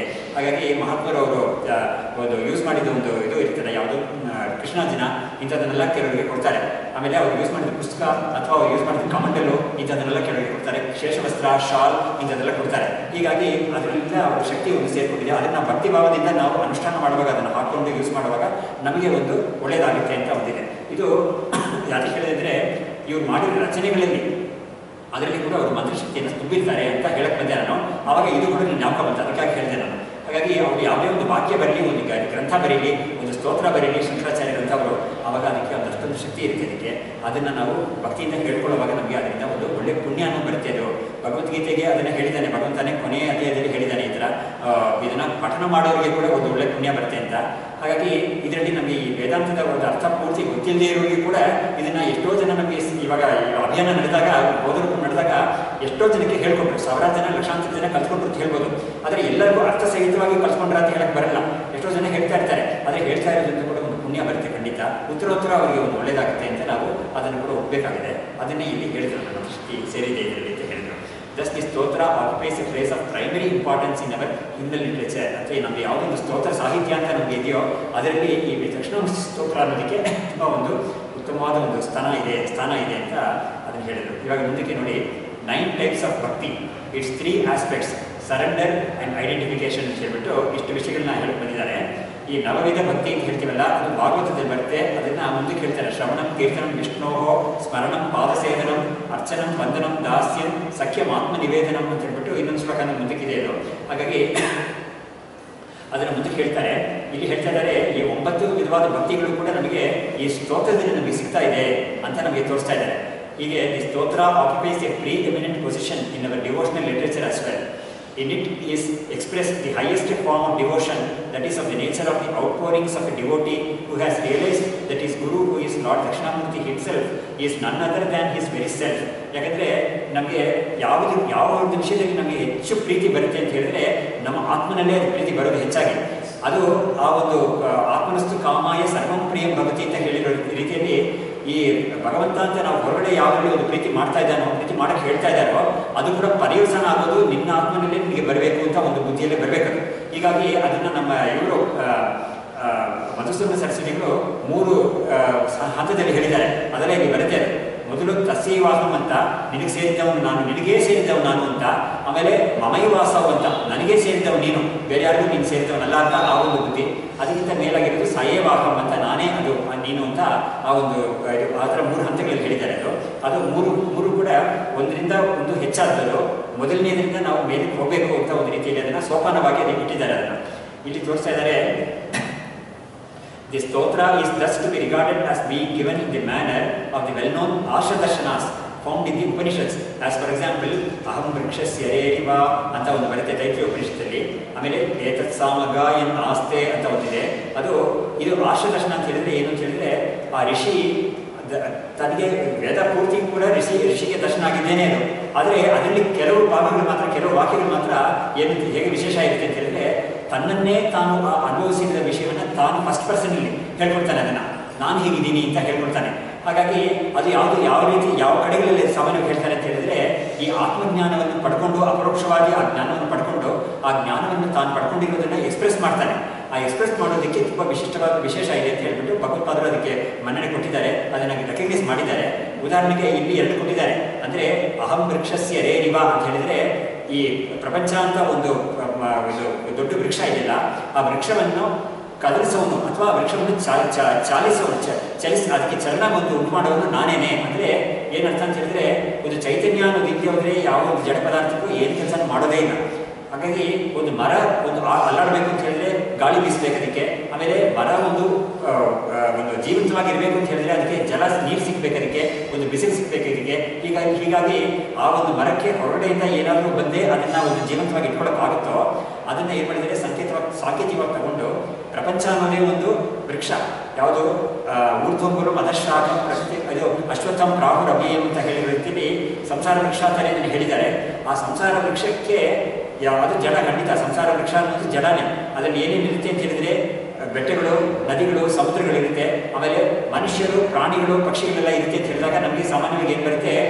ಹೀಗೆ ಯಾತಕ್ಕೆ ಇವರು ಈ ಬೆಟ್ಟಗಳು ಸಮುದ್ರಗಳು ಸಮುದ್ರಗಳ ಜೊತೆಗೆ ಪ್ರಾಣಿಗಳು ಮನುಷ್ಯನ ಯಾತಕ್ಕೆ ಸೇರಿಸ್ತಾ ಇದ್ದಾರೆ ಅಂತ ಒಂದು ಪ್ರಶ್ನೆ ಬರುತ್ತೆ. ಬಟ್ ಇಲ್ಲಿ ನಾವೇನು ನೋಡಬೇಕು ಅಂತ ಹೇಳಿದ್ರೆ ಒಂದು ವಿಶೇಷ ಇದೆ ಇಲ್ಲಿ ನಾವು ಯಾವುದನ್ನ ನಾವು ಇದಕ್ಕೆ ಸೇರಿಸಿ ಹೇಳ್ತಾ ಇದ್ದೀವೋ ಅದೆಲ್ಲವೂ ಕೂಡ ವಾಸ್ತವವಾಗಿ ಜಡ ವಸ್ತು- ವಸ್ತುಗಳೇ ಅದು. ಪಂಚಭೂತಗಳಿಂದ ಮಾಡಲ್ಪಟ್ಟಿದೆ ಈ ದೇಹ ದೇಹ ಅನ್ನೋದು ಕೂಡ. ಹಾಗಾಗಿ ಪ್ರಾಣಿ ಪಕ್ಷಿ ಅಂತ ಹೇಳುವಾಗ, ಮನುಷ್ಯ ಅಂತ ಹೇಳುವಾಗ ಈ ಪಂಚಭೂತಾತ್ಮಕವಾದ ಆ ಅಂಶವನ್ನು ಮಾತ್ರ ಹೇಳ್ತಾ ಇದ್ದೀವಿ ನಾವು. ಹಾಗಾಗಿ ಎಲ್ಲವೂ ಕೂಡ ಸಂಸ್ ಜಡವೇ ಅದು. ಅದು ಕೆಲಸ ಮಾಡಬೇಕು ಅಂತ ಹೇಳಿದ್ರೆ ಸಂಸಾರ ವೃಕ್ಷ ಅದು ಒಂದು ಅದು ಚಲನೆ ಇರಬೇಕು, ಸಂಸಾರ ಅನ್ನೋದು ನಡಿಬೇಕು ಅಂತ ಹೇಳಿದ್ರೆ ಅದಕ್ಕೆ ಚೈತನ್ಯ ಅಂತ ಒಂದು ಹಿಂದಿಗಡೆ ಇರಬೇಕು ಅದಕ್ಕೆ. ಆ ಹಿಂದಿಗಡೆ ಇರೋ ಚೈತನ್ಯ ನಾನೇನೆ ಅಂತ ಹೇಳ್ತಾ ಇದ್ದಾನೆ. ನೋಡಿ, ಇದು ಒಂದು ತುಂಬ ಚೆನ್ನಾಗಿರೋ ಒಂದು ದೃಷ್ಟಿ ಸೃಷ್ಟಿವಾದ ಅಂತ ನಾವು ಹೇಳ್ತೀವಲ್ಲ, ಆ ರೀತಿಯಲ್ಲಿ ಅನುಸಂಧಾನ ಮಾಡೋಕ್ಕೆ ತುಂಬಾ ಚೆನ್ನಾಗಿರೋದು ನೋಡಿ, ನಾವು ನಮ್ಮನ್ನ ತುಂಬ ಫೈನೈಟ್ ಅಂತ ಅನ್ಕೊಳ್ತಾ ಇರ್ತೀವಿ, ಅದೇ ಭ್ರಾಂತಿ ಶ್ರೇಷ್ಠ ಉಪನಿಷತ್ ನಮಗೆ ಇಂಥ ವಾಕ್ಯಗಳಿಂದ ಏನು ಹೇಳ್ಕೊಡ್ತಾ ಇದೆ? ಇದನ್ನು ಅನುಸಂಧಾನ ಮಾಡುವಾಗ ಈ ಇಡೀ ಪ್ರಪಂಚಕ್ಕೆ ಕೂಡ ನಾನೇ ನನ್ನ ಚೈತನ್ಯದಿಂದಲೇ ಇಡೀ ಪ್ರಪಂಚವು ನಡೀತಾ ಇದೆ ಅಂತ ಒಂದು ಭಾವನೆಯನ್ನು ನಾವು ತಗೋಬೇಕು, ತರಿಸ್ಕೋಬೇಕು. ಆದರೆ ಆ ಭಾವನೆ ಖಂಡಿತ ಅಹಂಕಾರದ ಭಾವನೆ ಅಲ್ಲ, ಅದು ಖಂಡಿತ. ಇದು ತತ್ವ ರೀ ತತ್ವ ರೀತಿಯಿಂದ ಇದನ್ನು ವಿಚಾರ ಮಾಡಿ ತಿಳ್ಕೊಂಡೇ ಒಂದು ಒಂದು ಭಾವನೆ. ಹಾಗಾಗಿ ಆ ಒಂದು ರೀತಿಯಲ್ಲಿ ಅನುಸಂಧಾನ ಮಾಡೋಕ್ಕಾಗಿ ಇದನ್ನು ಕೊಟ್ಟಿದ್ದಾರೆ ಅವರು. ಅಹಂ ವೃಕ್ಷಸ್ಯ ಅಂದರೆ ಇಡೀ ಪ್ರಪಂಚಕ್ಕೆ ನಾನೇನೇ ಚೈತನ್ಯ ಸ್ವರೂಪವಾಗಿದ್ದೀನಿ. ಇದನ್ನು ನೋಡಿ ನಾವು ಎಲ್ಲಿ ನೋಡ್ಕೋಬೋದು ಅಂತ ಹೇಳಿದ್ರೆ, ನಮ್ಮ ದೈನಂದಿನ ಜೀವನದಲ್ಲಿ ನಾವು ಚೆನ್ನಾಗಿ ಇದನ್ನು ಕಂಡ್ಕೋಬೋದು ಒಂದು ಏನು ಅಂತ ಹೇಳಿದ್ರೆ, ನಾವು ಬೆಳಿಗ್ಗೆ ಎದ್ದಿದ ಮೇಲೆ ನಮಗೆ ಸಂಸಾರ ಕಾಣುತ್ತೆ. ಹೇಳಕ್ಕೆ ಮುಂಚೆ ನಮಗೆ ಡೀಪ್ ಸ್ಲೀಪ್ ಅಂತ ಯಾವ್ದು ಹೇಳ್ತೀವೋ ಅವಾಗ ಸಂಸಾರ ನಮಗೆ ಇರೋದೇ ಇಲ್ಲ. ಪ್ರಪಂಚ ಅನ್ನೋದು ಕಾಣಿಸೋದೇ ಇಲ್ಲ. ನಾವು ಸಂಸಾರಿ ಅನ್ನೋದು ಕೂಡ ನಮಗೆ ಗೊತ್ತಿರಲ್ಲ. ನಾವು ನಮ್ಮ ಗಾರ್ಡನ್ ಇದ್ದರೆ ಸಮಯದಲ್ಲಿ ನಾವು ಇಂಥ ವ್ಯಕ್ತಿ, ನಾನು ಇಂಥ ಒಂದು ಜೆಂಡರ್ಗೆ ಸೇರಿದ್ದೀನಿ ಅಥವಾ ಇಂಥ ಯಾವುದೂ ಕೂಡ ನಮ್ಗೆ ಗೊತ್ತಿರಲ್ಲ. ಆದರೆ ಎಚ್ಚರ ಆಗಿದ ತಕ್ಷಣ ಇಡೀ ಪ್ರಪಂಚ ನಮಗೆ ಕಾಣಿಸುತ್ತೆ. ಜೊತೆಗೆ ಈ ಪ್ರಮಾಣವನ್ನು ಎತ್ಕೊಂಡ್ಬಿಡ್ತಾನೆ. ಅಂದರೆ ಒಂದು ಜೀವ, ಒಂದು ವ್ಯಕ್ತಿ ಸಂಸಾರ ಇದೆಲ್ಲ ಅವನು ಎತ್ಕೊಂಡ್ಬಿಡ್ತಾನೆ. ಅದು ಎಲ್ಲಿ ತನಕ ನಡೀತಾ ಇರುತ್ತೆ ಅಂತ ಹೇಳಿದ್ರೆ, ಮತ್ತೆ ಅವನು ಇದಕ್ಕೆ ಗಾರ್ಡನ್ ಹೋಗೋ ತನಕ ಇಡೀ ದಿನವೂ ಅವನಿಗೆ ಇದು ಕಾಣಿಸ್ತಾ ಇರುತ್ತೆ. ಇದು ಅನುಭವ ಬರ್ತಾ ಇರುತ್ತೆ. ಮತ್ತೆ ಅವನು ಏನು ಮಾಡ್ತಾನೆ? ಸುಸ್ತಾಗಿ, ಅಂದರೆ ಇದೆಲ್ಲ ಮಾಡಿ, ಆಯಾಸವಾಗಿ, ಕೆಲಸಗಳೆಲ್ಲ ಮಾಡಿ ಆಯಾಸವಾಗಿ ಹೋಗಿ ಮಲ್ಕೊಳ್ಳೋಣ ಅಂತ ಅವನು ತನ್ನ ದೇಹವನ್ನು ಒಂದು ಕಡೆ ಬೆಳೆಸ್ತಾನೆ. ಆವಾಗ ಏನಾಗುತ್ತೆ? ಅವನಿಗೆ ಮೊಟ್ಟ ಮೊದಲು ಅವನಿಗೆ ಒಂದು ಸ್ವಪ್ನ ಬರುತ್ತೆ ಅದು. ಆ ಸ್ವಪ್ನದಲ್ಲಿ ಕೂಡ ಅವನಿಗೆ ಗೊತ್ತು, ಅದು ತುಂಬ ಉಪಯೋಗ ಆಗುತ್ತೆ ನನಗೆ ಈ ಥರ ಅನುಸಂಧಾನಕ್ಕೆ. ಆಮೇಲೆ ಅವನಿಗೆ ಒಂದು ಡೀಪ್ ಸ್ಲೀಪ್ ಅಂತ ಬರುತ್ತೆ. ಅವಾಗ ಏನಾಗುತ್ತೆ? ಮನಸ್ಸು ಅನ್ನೋದು ಕೂಡ ಕೆಲಸ ಮಾಡಲ್ಲ ಸಮಯದಲ್ಲಿ ಹಾಗಾಗಿ ಅವನಿಗೆ ಮನಸ್ಸಿಂದ ಒಂದು ಕಲ್ಪಿತವಾದ ಒಂದು ಪ್ರಪಂಚ ಸ್ವಪ್ನ ಅಂತ ಒಂದು ಬರ್ತಾ ಇದೆಯಲ್ಲ, ಅದು ಕೂಡ ಅವನಿಗೆ ಬರ್ತಾ ಇಲ್ಲ ಅವಾಗ. ಅಂತ ಒಂದು ಸ್ಟೇಟಲ್ಲಿ ಅವನು ಆ ಒಂದು ಸ್ಥಿತಿಯನ್ನು ನಮಗೆ ಉಪನಿಷತ್ತು ಬ್ರಹ್ಮದ ಒಂದು ಸ್ಥಿತಿಯಿಂದಾನೇ ತೋರಿಸ್ಕೊಟ್ಟಿದ್ದಾರೆ ಅದನ್ನು. ಅದಕ್ಕೆ ಹೋಲಿಕೆ ಕೊಟ್ಟಿದ್ದಾರೆ ಅದಕ್ಕೆ. ಒಂದು ಸುಶುಕ್ತಿ ಅನ್ನೋದನ್ನ ಮೋಕ್ಷ ಸ್ಥಿತಿಗೆ ಎಕ್ಸಾಂಪಲ್ ಕೊಟ್ಟಿದ್ದಾರೆ. ಬೃಹದಾರಣ್ಯ ಉಪನಿಷತ್ತು ಬರ್ತಾ ಇದೆ ಅದು ಏನಿರುತ್ತೆ ಅಂತ ಹೇಳಿದ್ರೆ ಡೀಪ್ ಸ್ಲೀಪ್ ಅಂತ ಸ್ಟೇಟ್ ಇದೆಯಲ್ಲ, ಅಲ್ಲಿ ಒಂದು ಬ್ರಾಹ್ಮಣ, ಬ್ರಾಹ್ಮಣನಲ್ಲ ಅವನು. ಒಂದು ಕಳ್ಳ, ಕಳ್ಳನಲ್ಲ ಅವನು. ಆಮೇಲೆ ಒಂದು ಬೇರೆ ಯಾವ್ದಾದ್ರು ಒಂದು ತಗೊಂಡ್ರು ಕೂಡ ಒಂದು ಸ್ತ್ರೀ ಸ್ತ್ರೀ ಅಲ್ಲ ಅಲ್ಲಿ, ಅಂತ ಎಲ್ಲರಿಗೂ ಅಂತ ಒಂದು ಪ್ರಾಣಿ, ಆ ಪ್ರಾಣಿ ಅಲ್ಲ, ಅದು ಸಿಂಹ ಸಿಂಹವಲ್ಲ ಆ ಸಮಯದಲ್ಲಿ ಅಂತ. ಯಾಕಂದ್ರೆ ಎಲ್ಲವೂ ಕೂಡ ತನ್ನ ಒಂದು ರಾಂಗ್ ಐಡೆಂಟಿಟಿ ಅಂತ ಇದೆಯಲ್ಲ, ಆ ಐಡೆಂಟಿಟಿ ಬಿಟ್ಕೊಂಡ್ಬಿಟ್ಟಿರುತ್ತೆ ಆ ಸಮಯದಲ್ಲಿ ಮನಸ್ಸಿದ್ರೆ ಐಡೆಂಟಿಟಿ ಮನಸ್ಸಿಗೆ ಹೋದ್ರೆ ಐಡೆಂಟಿಟಿನೇ ಇಲ್ಲ. ಹಾಗಾಗಿ ಆ ಮನಸ್ಸನ್ನು ಅದರಲ್ಲಿ ಹೊರಗಿರೋದ್ರಿಂದ ಅವನು ಶುದ್ಧ ಚೈತನ್ಯವನ್ನು ಮಾತ್ರ ಉಳ್ಕೊಂಡಿರ್ತಾನೆ. ಅದನ್ನು ಉಪನಿಷತ್ ಏನು ಮಾಡ್ತಾ ಇದೆ? ಆತ್ಮ ಚೈತನ್ಯ ಇದು ಆತ್ಮದ ಒಂದು ಸ್ಥಿತಿ ಅಥವಾ ಬ್ರಹ್ಮದ ಸ್ಥಿತಿ ಅಥವಾ ಮೋಕ್ಷದ ಸ್ಥಿತಿಗೆ ಇದನ್ನ ಒಂದು ಉದಾಹರಣೆ ಕೊಡ್ತಾ ಇದ್ದೀವಿ ಅಂತ ಹೇಳ್ತಾ ಇದ್ದಾರೆ. ಹಾಗೆ ಬರುತ್ತೆ ಮುಂಚೆ ಮುಂಚೆ ಯಾಕೆಂದ್ರೆ ಯಾಜ್ಞಿಕರಿಗೂ ಜನಗಳಿಗೂ ನಡೀತಾ ಇರೋ ಒಂದು ಸಂವಾದ ಅದು. ಆ ಸಂವಾದದಲ್ಲಿ ಆ ಪ್ರಾರಂಭದಲ್ಲೇ ಬರುತ್ತೆ ಉದಾಹರಣೆಯಾಗಿ ಬರ್ತಾ ಇದೆ ಅಂತ. ಹಾಗಾಗಿ ನಮಗೆ ಮೋಕ್ಷ ಸ್ಥಿತಿ ಹೇಗಿರುತ್ತೆ ಅಂತ ನಮಗೆ ಒಂದು ಉದಾಹರಣೆ ನಮಗೆ ನಮ್ಮ ಡೀಪ್ ಕ್ಷೇತ್ರದಲ್ಲಿ ನಮಗೆ ಸಿಗ್ತಾ ಇದೆ ಅದು. ಅವಾಗ ಏನಾಗುತ್ತೆ? ಖಂಡಿತ ಅಲ್ಲಿ ದ್ವೈತ ಇರಲ್ಲ, ಅಲ್ಲಿ ನಾನಾತ್ವ ಇರಲ್ಲ ಖಂಡಿತ. ಆಮೇಲೆ ಐಡೆಂಟಿಟಿ ಇರಲ್ಲ ಖಂಡಿತ. ಈ ಇವನು ಬೇರೆ, ಅವನು ಬೇರೆ, ನಾನು ಇಂಥವನು, ಅಂಥವನು ಅಂತ ಒಂದು ಐಡೆಂಟಿಟಿ ಇರಲ್ಲ. ಆದರೆ ಅದೇ ಸಮಯದಲ್ಲಿ ಒಂದು ಸುಖಾನೂ ಇರುತ್ತೆ. ಡೀಪ್ ಸ್ಲೀಪಲ್ಲಿ ಇಷ್ಟೆಲ್ಲ ನಮಗೆ ಅಲ್ಲೂ ಇದೆ, ಯಾವುದರಲ್ಲಿ? ಮೋಕ್ಷದಲ್ಲೂ ಇದೆ. ಹಾಗಾಗಿ ಇದನ್ನು ನಾವು ಅನುಸಂಧಾನ ಮಾಡೋದು ತುಂಬ ಉತ್ತಮವಾದ ಅಂತ ನಮ್ಮ ಚಂದ್ರಶೇಖರ ಭಾರತಿಗಳು ಏನು ಮಾಡಿದ್ದಾರೆ ಒಂದು ವೇಕಶ್ರಾವಣಿ ಭಾಷೆಯಲ್ಲಿ ಅವರಿಗೆ ವ್ಯಾಖ್ಯಾನ ಮಾಡಿದಾರಲ್ಲ, ಅಲ್ಲಿ ಒಂದು ಶ್ಲೋಕಕ್ಕೆ ಪ್ರಾರಂಭದಲ್ಲೇ ಬರ್ತಿದ್ರು ಅಲ್ಲಿ ಒಂದು ಶ್ಲೋಕಕ್ಕೆ ಅವ್ರು ಏನು ಮಾಡ್ತಾರೆ, ಆ- ಅಂಶ ಪ್ರಾರಂಭದಲ್ಲಿ ಸ್ವಲ್ಪ ಮುಂದಕ್ಕೆ ಬರ್ತಿದ್ರು ಅವರು ಭಾಷೆಯಲ್ಲಿ ಬರೀತಾರೆ, ಈ ಪ್ರತಿಯೊಬ್ಬನು ತನಗೆ ಬಂದಿರೋ ಈ ಒಂದು ಡೀಪ್ ಸ್ಲೀಪ್ ಅನುಭವ ಇದೆಯಲ್ಲ, ಅದನ್ನು ಹಗಲೊತ್ತಲ್ಲಿ ಜಾಗೃತಿಯಲ್ಲಿ ಅವನು ಅದನ್ನು ಅನುಸಂಧಾನ ಮಾಡ್ಕೊಂಡ್ರೆ ಅದು ಸಮಾಧಿಗೆ ತಕ್ಕ ಕರ್ಕೊಂಡು ಬಿಡುತ್ತೆ ಅದು ಅಂತ ಈ ಅನುಸಂಧಾನ ಈ ಥರ ಒಂದು ಅದನ್ನು ಮತ್ತೆ ರೀಪ್ಲೇ ಅಂತ ಹೇಳ್ತೀವಲ್ಲ ನಾವು? ರೀಪ್ಲೇ ಅಂತ ಒಂದು ಇದೆಯಲ್ಲ ಇದರಲ್ಲಿ. ಟಿವಿನೆಲ್ಲ ಇರ್ತಾರೆ ಅದು. ಆ ಥರ ನಾವು ಇದನ್ನು ರೀಪ್ಲೇ ಮಾಡ್ಕೋಬೇಕು. ನಾವು ಕಾನ್ಷಿಯಸ್ ಆಗಿ, ಅವಾಗ ಸ್ಲೀಪಲ್ಲಿ ಅನ್ಕಾನ್ಷಿಯಸ್ ಆಗಿ ಸ್ಲೀಪಲ್ಲಿ ಇರ್ತೀವಿ ನಾವು. ಬಟ್ ಕಾನ್ಷಿಯಸ್ ಆಗಿ ಆ ಸ್ಲೀಪ್ ಸ್ಟೇಟ್ನ ನಾವು ತಂದುಕೊಂಡು ನಾವು ಅದನ್ನು ಅನುಸಂಧಾನ ಮಾಡೋದ್ರಿಂದ ಅದು ಸಮಾಧಿ ತನಕ ತಗೊಂಡೋಗುತ್ತೆ ಅಂತ ಹೇಳಿದ್ದಾರೆ. ಏನರ್ಥ ಅಂತ ಹೇಳಿದ್ರೆ, ಇವಾಗ ನಾನು ಹೇಳಿದ್ನಲ್ಲ, ಈ ನಾನತ್ವ ಇರಲ್ಲ ಅದರಲ್ಲಿ, ದ್ವೈತ ಇರಲ್ಲ, ನಾನು ಭಾವ ಇರಲ್ಲ, ಆಮೇಲೆ ನಾನಿಂತ ಒಂದು ವ್ಯಕ್ತಿಯಿಂದ ಐಡೆಂಟಿಫಿಕೇಶನ್ ಇರಲ್ಲ, ಯಾವುದೂ ಇರಲ್ಲ, ಅದೇ ಸಮಯದಲ್ಲಿ ಒಂದು ಶುದ್ಧವಾದ ಒಂದು ಆನಂದನೂ ಇರುತ್ತೆ ನನಗೆ ಅಂಥ ವಿಷಯಗಳೆಲ್ಲ, ಅಂಥ ಆಸ್ಪೆಕ್ಟ್ಸ್ ಎಲ್ಲ ತಗೊಂಡು ನಾವು ಈ ಥರ ಅನುಸಂಧಾನ ಮಾಡೋದ್ರಿಂದ ಏನಾಗುತ್ತೆ ನ್ಯಾಚುರಲಿ ಮೈಂಡ್ ವೈಟ್ ಆಗುತ್ತೆ ಅದು. ವೈಟ್ ಆಗೋದ್ರಿಂದ ಖಂಡಿತ ಅದು ಸಮಾಧಿ ತನಕ ತಗೊಂಡೋಗುತ್ತೆ ಅಂತ ಅವರು ಹೇಳಿದ್ದಾರೆ. ಸಮಾಧಿ ಅಂತ ಹೇಳಿದ್ರೆ ಅದನ್ನು ಮೋಕ್ಷ ತನಕ ಕರ್ಕೊಂಡು ಹೋಗುತ್ತೆ ಅದು. ವೇದಾಂತಕ್ಕೆ ತುಂಬ ಉತ್ತಮವಾದ ಒಂದು ಅಭ್ಯಾಸ ಅಂತ ಅವರು ಅದನ್ನು ತೋರಿಸ್ಕೊಟ್ಟಿದ್ದಾರೆ ಹೀಗೆ ಹೇಳಿದ್ರೆ ಬಂದರೆ ಅಂದರೆ ಯಾವ ವೃಕ್ಷ ಸೇರೇರಿವ ಅಂತ ಇದೆಯಲ್ಲ ತುಂಬ ಇಂಪಾರ್ಟೆಂಟ್ ಅದು. ನಮಗೆ ಇಡೀ ಪ್ರಪಂಚಕ್ಕೆ ಚೈತನ್ಯ. ನಾನು ಹೇಳಕ್ ಹೇಳಕ್ ಬಂದಿದ್ದು ಏನು ಅಂದರೆ ಈ ಡೀಪ್ ಸ್ಲೀಪ್ ಹೇಳಿದೆ ನಾನು. ಎಚ್ಚರ ಆಗುತ್ತಲ್ಲ. ಎಚ್ಚರ ಆಗಿದ ತಕ್ಷಣ ನನಗೆ ಪ್ರಪಂಚ ಎಲ್ಲ ಕಾಣಿಸ್ಕೊಳ್ತಲ್ಲ ಈ ಪ್ರಪಂಚ ಎಲ್ಲಿಂದ ಬಂದಿದೆ ಅಂತ ಕೇಳಿದರೆ ನನ್ನಿಂದಲೇ ಇದು ಹೊರಗಡೆ ಕಾಣಿಸ್ತಾ ಇದೆ. ಯಾಕಂದರೆ ನಾನು ನಾನು ಈ ಪ್ರಪಂಚವನ್ನು ನೋಡ್ತಾ ಇಲ್ಲದೇ ಸಮಯದಲ್ಲಿ ಇದರ ಯಾವುದೂ ನನಗೆ ಅನುಭವ ಬರ್ತಾನೇ ಇರಲಿಲ್ಲ. ಆದರೆ ನಾನು ಇದನ್ನು ನೋಡೋಕೆ ಪ್ರಾರಂಭ ಆಗಿದ ತಕ್ಷಣ ಇದೆಲ್ಲ ನನಗೆ ಅನುಭವ ಬರ್ತಾ ಇದೆ. ಅದರಿಂದ ಏನು ಗೊತ್ತಾಗ್ತಾ ಇದೆ. ನಾನು ಇರುವಾಗ ಇದಿರುತ್ತೆ, ನಾನು ಇಲ್ಲಿ ಹೋದರೆ ಇದಿಲ್ಲ ಅಂತ ಒಂದು ಅನ್ವಯ ವ್ಯತಿರೇಕ ಅಂತ ಅದಕ್ಕೆ ಹೇಳ್ತಾರೆ ಲಾಜಿಕ್ಗೆ ನಾನು ಇದ್ದಾಗ ಇದಿರುತ್ತೆ, ನಾನು ಇಲ್ಲಿ ಹೋದರೆ ಇದಿರಲ್ಲ ಅಂತ ಹೇಳ್ಬಿಟ್ಟು ಅನ್ವಯ ಮತ್ತು ವ್ಯತಿರೇಕ. ಅದರಿಂದ ನಾವು ತಿಳ್ಕೋಬೇಕು, ನಾನಿದ್ರೆ ಅಂದರೆ ನನ್ನ ಚೈತನ್ಯ ಇದ್ದರೆ ಈ ಪ್ರಪಂಚ ಎಲ್ಲ ಇರುತ್ತೆ. ಚೈತನ್ಯ ಅನ್ನೋದು ಇಲ್ಲಿ ಹೋದರೆ ಅದು ಪ್ರಪಂಚ ಇರಲ್ಲ ಅಂತ ನಾವು ಅದನ್ನ ಒಂದು ಕನ್ಕ್ಲೂಷನ್ ತಗೋ ತಗೋಬೋದು. ಅದನ್ನ ಅಂತ ಒಂದು ಎಕ್ಸ್ಪ್ರೆಷನ್ ಇಲ್ಲಿ ಕೊಡ್ತಾ ಇದೆ ಅಹಂ ವೃಕ್ಷಸ್ಯ ರೇರಿವ ಅಹಂ ಅಂತ ಇಲ್ಲಿ ಹೇಳುವಾಗ ನಾನು ವ್ಯಕ್ತಿ ಅಂತ ಹೇಳ್ತಾ ಇಲ್ಲ. ಆತ್ಮ ಚೈತನ್ಯವಾದ ನಾನು, ಈ ಪ್ರಪಂಚಕ್ಕೆ, ಈ ಜಡವಾದ ಪ್ರಪಂಚಕ್ಕೆ ನಾನು ಅದನ್ನ ಚೇ ಅದನ್ನ ಚೇ, ಅದಕ್ಕೆ ಒಂದು ಚೇತನವನ್ನು ಕೊಟ್ಟು, ಚೈತನ್ಯವನ್ನು ಕೊಟ್ಟು ಅದನ್ನ ನಾನು, ಆ, ಒಂದು ಆಕ್ಟಿವಿಟಿಗೆ ನಾನು ಅದನ್ನು ಒಳಪಡಿಸ್ತಾ ಇದ್ದೀನಿ ಅಂತ ಒಂದು ಬುದ್ಧಿ ಅವನಿಗೆ ಬಂದಾಗ ಏನಾಗ್ತದೆ, ಅವನು ಈ ಪ್ರಪಂಚದಲ್ಲಿ ಸೇರಿರೋ ಒಂದು ವ್ಯಕ್ತಿ ತಾನು ಅಂತ, ಅದರಿಂದ ಅವನು ಹೊರಗಡೆ ಹೋಗಿ ಈ ಪ್ರಪಂಚಕ್ಕೆ ಅಧಿಷ್ಠಾನವಾಗಿರುವ ಒಂದು ಸ್ವರೂಪ ನಾನು ಅಂತ ಒಂದು ಬುದ್ಧಿ ಬರುತ್ತೆ ಅವನಿಗೆ. ಹಾಗಾದ್ರೆ ಅದು ಎಷ್ಟು ದೊಡ್ಡ ಒಂದು ಪ್ರಮೋಷನ್ ಅಲ್ವಾ? ಅದು ಪ್ರಮೋಷನ್ ಅಂದರೆ ನಾವೇ ನಮಗೆ ಕೊಟ್ಕೊಳ್ತಾ ಇರೋ ಪ್ರಮೋಷನ್ ಅದು. ಈ ಪರೀಕ್ಷೆಯಲ್ಲಿ ನಾವು ಏನು ಮಾಡ್ತಾ ಇದ್ದೀವಿ? ಮೊದಲು ಸಣ್ಣ ಕ್ಲಾಸಲ್ಲೇ ಇರ್ತಾ ಇದ್ದೀವಿ ನಾವು. ಆದರೆ ಅದರಿಂದ ನಾವು ದೊಡ್ಡ ಕ್ಲಾಸಿಗೆ ಹೋಗಬೇಕಾದ್ರೆ ಖಂಡಿತ ಈ ಪ್ರಪಂಚದಲ್ಲಿ ಸೇರಿರೋ ಒಂದು ವ್ಯಕ್ತಿ ಅಲ್ಲ ನಾನು. ಪ್ರಪಂಚಕ್ಕೆ ಅಧಿಷ್ಠಾನಭೂತವಾಗಿರೋ ಒಂದು ವ್ಯಕ್ತಿ ನಾನು. ಅದಕ್ಕೆ ಆಧಾರವಾಗಿರೋ ಒಂದು ವ್ಯಕ್ತಿ ನಾನು, ಒಂದು ಸ್ವರೂಪ ನಾನು ಅಂತ ಅಂತರ ಒಂದು ಬುದ್ಧಿ ನಮಗೆ ಬರಕ್ಕೆ ಇಂಥ ಒಂದು ಮಂತ್ರ ಆಮೇಲೆ ಇದಕ್ಕೆ ಮುಂದೆ ಕೊಟ್ಟು ಕೊಟ್ಟಿದ್ದಾರಲ್ಲ, ಅದು ಕೂಡ ಅದೇ. ಏತತ್ ಸಾಮಗಾಯ ನಾಸ್ತೆ ಹಾವು ಹಾವು ಅಂತ ಬರ್ತಿದ್ರು ಅಹಮನ್ನ ಮಹಮನ್ನ ಮಹಮನ್ನ ಅಂತ ಹೇಳುವಾಗ ಕೂಡ ಇದೇನೇ ಇದು? ಯಾವೊಂದು ಭೋಗ್ಯ ಪದಾರ್ಥ ಅಂತ ಪ್ರಪಂಚದಲ್ಲಿ ಇದೆಯೋ, ಆ ಭೋಗ್ಯ ಪದಾರ್ಥ ಕೂಡ ನನ್ನ ಸ್ವರೂಪವೇ ಅದು ನಾನೇ ಅದು ಹೋಗ್ತಾ ಕೂಡ ನಾನೇನೆ. ಈ ಅಂತ ನಾವು ಯಾವ್ದು ಹೇಳ್ತಾ ಇದೀವೋ ಆ ತ್ರಿಪುಟಿ ಮೂರು ಕೂಡ ನನ್ನ ಸ್ವರೂಪವೇ ಈ ಮೂರಾಗಿ ಕಾಣಿಸ್ಕೊಳ್ತಾ ಇದೆ. ಧ್ಯಾನ ಧ್ಯಾತೃ ಧ್ಯೇಯ ರೂಪ ಅಂತ ಒಂದು ಬರ್ತಲ್ಲ, ಅದೇ ಥರ ಧ್ಯಾನ ಮತ್ತು ಧ್ಯ- ಧ್ಯ- ಧ್ಯೇಯ ಮತ್ತು ಧ್ಯಾತೃ, ಅವನು ಮೂರು ಕೂಡ ಇದೇ ಆಗಿದೆ ಅಂತ. ಇದಕ್ಕೆ ನಾವು ಯಾವ ಥರ ಯಾವ ಒಂದು ಎಕ್ಸಾಂಪಲ್ ತಗೋಬೋದು ಅಂತ ಹೇಳಿದ್ರೆ ಇದನ್ನ ತಿಳ್ಕೊಳ್ಳೋಕ್ಕೆ ನಮ್ಮ ಸ್ವಪ್ನ ಅನುಭವನ ತಗೋಬೋದು. ಇವಾಗ ಸ್ವಪ್ನ ಅಂತ ನಾವು ಬರಕ ಬರಕ್ಕೆ ಮುಂಚೆ ಏನಾಗುತ್ತೆ, ನಾವು ಒಂದು ಇಂಡಿವಿಜುವಲ್ ಆಗಿ ನಾವು ಹಾಸಿಗೆಯಲ್ಲಿ ಹೋಗಿ ಮಲ್ಕೊಂಡಿರ್ತೀವಿ. ಆದರೆ ಸ್ವಪ್ನ ಅಂತ ಒಂದು ಬಂದು ಶುರುವಾಗಿದ ತಕ್ಷಣ ಏನಾಗುತ್ತೆ? ನಾವು ಮಲ್ಕೊಂಡಿರೋದು ನಮಗೆ ನಾಪಕ ಬರಲ್ಲ. ಆ ಸ್ವಪ್ನದಲ್ಲಿ ನಾವು ಯಾವುದೋ ಒಂದು ವ್ಯಕ್ತಿಯಾಗಿರ್ತೀವಿ ನಾವು ಖಂಡಿತ. ಯಾಕಂದರೆ ನಾವಿಲ್ಲದೆ ಒಂದು ಸ್ವಪ್ನ ಇರೋದೇ ಇಲ್ಲ. ಆವಾಗ ನಾವು ಸ್ವಪ್ನದಲ್ಲಿ ನಾವು ಯಾವುದೋ ಒಂದು ಕ್ರಿಕೆಟ್ ಮ್ಯಾಚ್ ನೋಡ್ತಾ ಇದ್ದೀವಿ ಇಟ್ಕೊಳ್ಳೋಣ ಫಾರ್ ಎಕ್ಸಾಂಪಲ್ ಅವಾಗ ಎಷ್ಟೋ ಜನ ಇರ್ತಾರೆ ಸಾವಿರ ಜನ ಬಂದು ಸೇರಿರ್ತಾರೆ ಅಲ್ಲಿ. ಚೆನ್ನಾಗಿ ಬಿಸಿಲು ಕಾಯ್ತಾ ಇರುತ್ತೆ. ಆಮೇಲೆ ಅಲ್ಲಿ ಆಡ್- ಆಡ್ತಾ ಇರೋ ಕೆಲವರು ಇರ್ತಾರೆ. ಆ- ಆಮೇಲೆ ಕೆಲವು ಪಕ್ಷಿಗಳೆಲ್ಲ ಅಲ್ಲಿ ಆ ಕಡೆ ಹಾರ್ತಾ ಇರುತ್ತೆ. ಕೆಲವು ಕಡೆ ನಾಯಿಗಳೆಲ್ಲ ಇರುತ್ತೆ. ಆಮೇಲೆ ಕೆಲವು ಶಬ್ದಗಳೆಲ್ಲ ಬರ್ತಾ ಇರುತ್ತೆ. ಅದ್ರ ಮಧ್ಯದಲ್ಲಿ ನಾವು ಕೂಡ ಸ್ಪೆಕ್ಟೇಟರ್ ಕೂತಿರ್ತೀವಿ. ಕೈಲಿ ಫಾರ್ ಎಕ್ಸಾಂಪಲ್ ಏನಾದ್ರು ತಿನ್ನಕ್ಕೆ ಕುಡಿಯೋಕ್ಕೋ ಏನಾದ್ರು ಇಟ್ಕೊಂಡಿರ್ತೀವಿ ನಾವು. ಎಷ್ಟೆಲ್ಲ ಆಗ್ತಾ ಇರೋದು ಪ್ರಪಂಚದ ಒಂದು ಸ್ವಪ್ನದಲ್ಲಿ, ಏನೇನು ಅಂಶಗಳಿದೆ ಅಂತ ನಾವು ಸ್ವಲ್ಪ ವಿಚಾರ ಮಾಡಿ ನೋಡಿದ್ರೆ ನಮಗೆ ಗೊತ್ತಾಗುತ್ತೆ. ಈ ಈ ಕ್ರಿಕೆಟ್ ಮ್ಯಾಚ್ ನೋಡ್ತಾ ಇದ್ದಾರಲ್ಲ ನೋಡ್ತಾ ಇದ್ದೀನಲ್ಲ ನಾನು ಅಂತ ಒಂದು ಒಂದು ಒಂದು ವ್ಯಕ್ತಿ ನನಗೆ ಅಲ್ವೋ ಒಂದು ಐಡೆಂಟಿಫಿಕೇಶನ್ ಬರ್ತಾ ಇದೆಯಲ್ಲ, ಅವನು ಪ್ರಮಾತ್ರ ಆಮೇಲೆ ಅವನಿಗೆ ಕೆಲವು ಇಂದ್ರಿಯಗಳಿದೆ ಕಣ್ಣು, ಕಣ್ಣಿಂದ ಅದನ್ನು ನೋಡ್ತಾ ಇದ್ದಾನೆ. ಅವನಿಗೆ ಆಮೇಲೆ ಬಿಸಿಲು ಚೆನ್ನಾಗಿ ಕಾಯ್ತಾ ಇದೆ, ತುಂಬ ಸೆಕೆ ಆಗ್ತಾ ಇದೆ ಅಂತ ಅವನಿಗೆ ತೋಲು ಅನ್ನೋದ್ರಿಂದ ಗೊತ್ತಾಗ್ತಾ ಇದೆ ಅವನಿಗೆ ಬಾಯಾರಿಕೆ ಆಗ್ತಾ ಇದೆ, ಅದಕ್ಕೆ ಏನಾದರೂ ಕುಡಿತಾನೆ, ತಿಂತಾನೆ, ಇದೆಲ್ಲ ಮಾಡ್ತಾನೆ ಹೊಚ್ಚು ಹಸಿವಾಗ್ತಾ ಇದೆ. ಆಮೇಲೆ ಕೆಲವು ಶಬ್ದಗಳು ಕೇಳಿಸ್ತಾ ಇದೆ ಅವನಿಗೆ ಹಾಗಾಗಿ ಈ ಶಬ್ದ ಸ್ಪರ್ಶ, ರೂಪರಸ, ಗಂಧ ಅನ್ನೋದು ಅಲ್ಲಿ ಸಿಗ್ತಾ ಇದೆ ಅವನಿಗೆ ಅದೆಲ್ಲ ಅನುಭವಿಸಕ್ಕೆ ಅವನಲ್ಲೇ ಕೂಡ ಈ ಇಂದ್ರಿಯಗಳೆಲ್ಲ ಇದೆ. ಹಾಗಾಗಿ ಪ್ರಮಾತೃ ಮತ್ತು ಪ್ರಮಾಣ ಎರಡು ಕೂಡ ಎಲ್ಲೇ ಸಿದ್ಧವಾಗ್ಬಿಟ್ಟಿದೆ. ಅವನು, ಅವನ ಒಂದು ಇಂಡಿವಿಜುವಲ್ ಪ್ರಮೇಯವಾದ ವಸ್ತುಗಳು ಇವುಗಳೆಲ್ಲವೂ ಕೂಡ ಆಡ್ತಾ ಇರೋ ಅದು ಪ್ಲೇಯರ್ಸು ಆಮೇಲೆ ಆಟ, ಇದೆಲ್ಲವೂ ಕೂಡ ಅವನಿಗೆ ದೃಶ್ಯ. ಹಾಗಾಗಿ ಇವನು ದೃಕ್ಕಾಗಿರ್ತಾನೆ ದೃಶ್ಯವಾಗಿರುತ್ತೆ ಅದು. ಎಲ್ಲವೂ ಕೂಡ ಇವ್ನಿಗೆ ಏನಾಗುತ್ತೆ, ಇಡೀ ಇದಷ್ಟು ಕೂಡ ಒಂದು ಸ್ವಪ್ನದಲ್ಲಿ ಸೇರಿರುತ್ತೆ. ಹಾಗಾಗಿ ಇವನು ಎದ್ದ ಮೇಲೆ ಇವನಿಗೆ ಗೊತ್ತಾಗುತ್ತೆ, ನಾನು ಒಬ್ಬನೇ ಮಲ್ಕೊಂಡಿದ್ದು, ಆದರೆ ಸ್ವಪ್ನದಲ್ಲಿ ಎಷ್ಟೊಂದು ವ್ಯಕ್ತಿಗಳೆಲ್ಲ ಬಂದ್ಬಿಟ್ರಲ್ಲಿ ಆಮೇಲೆ ಅದನ್ನು ನೋಡ್ತಾ ಇರೋ, ಅನುಭವಿಸ್ತಾ ಇರೋ ಒಂದು ನಾನು ಕೂಡ ಇದ್ದೇ ಅದರಲ್ಲಿ ಹಾಗಾಗಿ ನಾವು ವಿಚಾರ, ವೇದಾಂತವನ್ನು ತಿಳ್ಕೊಂಡು ವಿಚಾರ ಮಾಡಬೇಕಾದ್ರೆ ನಾವು ಹೇಗೆ ಮಾಡಬೇಕು ಅಂದರೆ, ಈ ಸ್ವಪ್ನದಲ್ಲಿ ನಮಗೆ ಕಂಡಿದ್ದು ಯಾವುದು ಅಂದರೆ ತೃಪ್ತಿಯನ್ನು ಕಂಡಿದ್ದೀವಿ ನಾವು. ಹಾಗಾಗಿ ತೃಪ್ತಿ ಅನ್ನೋದು ನಮಗೆ ವಿಷಯವಾಗ್ತಾ ಇದೆ.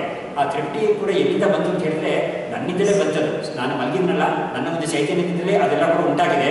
ಆ ಚೈತನ್ಯ ಹೇಗೆ ಹೇಗೆ ಅದನ್ನ ಎಕ್ಸ್ಪ್ರೆಸ್ ಮಾಡ್ಕೊಂಡಿದೆ ಅಂತ ಹೇಳಿದ್ರೆ, ಪ್ರಮಾತೃ ಪ್ರಮಾಣ ಪ್ರಮೇಯವಾಗಿ ತ್ರಿಪುಟಿಯಾಗಿ ಅದು ತನ್ನನ್ನೇ ಎಕ್ಸ್ಪ್ರೆಸ್ ಮಾಡ್ಕೊಂಡಿದೆ ಹಾಗಾಗಿ ಈ ಎಕ್ಸ್ಪ್ರೆಷನ್ ಬರೋದಕ್ಕೆ ಕಾರಣವಾಗಿರುವುದು ನಾನೇನೆ ಅಂತ ಒಂದು ಬುದ್ಧಿ ಅದನ್ನು ಅದನ್ನ ಈ ಮಂತ್ರದಲ್ಲಿ ಹೇಳ್ತಾ ಇದ್ದಾರೆ. ಏತತ್ ಸಾಮಗಾಯ ನಾಸ್ತೆ ಅಂತ ಬರ್ತಾ ಇದೆಯಲ್ಲ, ಅದರಲ್ಲಿ.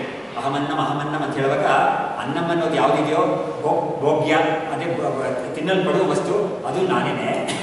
ತಿನ್ನು ತಿನ್ನುವನು ಕೂಡ ನಾನೇನೆ ಅಂತ ಬರುತ್ತೆ ಹಾಗಾಗಿ ಅನ್ನ ಮತ್ತು ಅನ್ನ ಅನ್ನವನ್ನು ತಿನ್ನುವನು ಎರಡು ಕೂಡ ನಾನೇ ಅಂತ ಗೊತ್ತಾಗುತ್ತೆ. ಅದಕ್ಕೆ ನಾನು ಉದಾಹರಣೆ ಹೇಳಿದೆ. ಈ ಸ್ವಪ್ನದಲ್ಲಿ ನನಗೆ ಅದನ್ನು ನೋಡುವನು ಮ್ಯಾಚ್ ನೋಡೋನು ಕೂಡ ನಾನೇ ಆಗಿದ್ದೆ. ಮ್ಯಾಚ್ ಕೂಡ ನನ್ನಿಂದನೇ ಆಗಿದೆ. ಹೊರಗಡೆ ಬಂದಿದ್ದು ಪ್ಲೇಯರ್ಸ್ ಎಲ್ಲರೂ ಕೂಡ, ಆ ವಾತಾವರಣ ಎಲ್ಲರೂ ಕೂಡ ನನ್ನಿಂದಲೇ ಸೃಷ್ಟವಾಗಿರೋದ್ರಿಂದ ನಾನೇ ಅದರ ಎಲ್ಲದಕ್ಕೂ ಸ್ವರೂಪ ಅಂತ ಅವರಿಗೆ ಗೊತ್ತಾಗುತ್ತೆ ಎದ್ದ ಮೇಲೆ.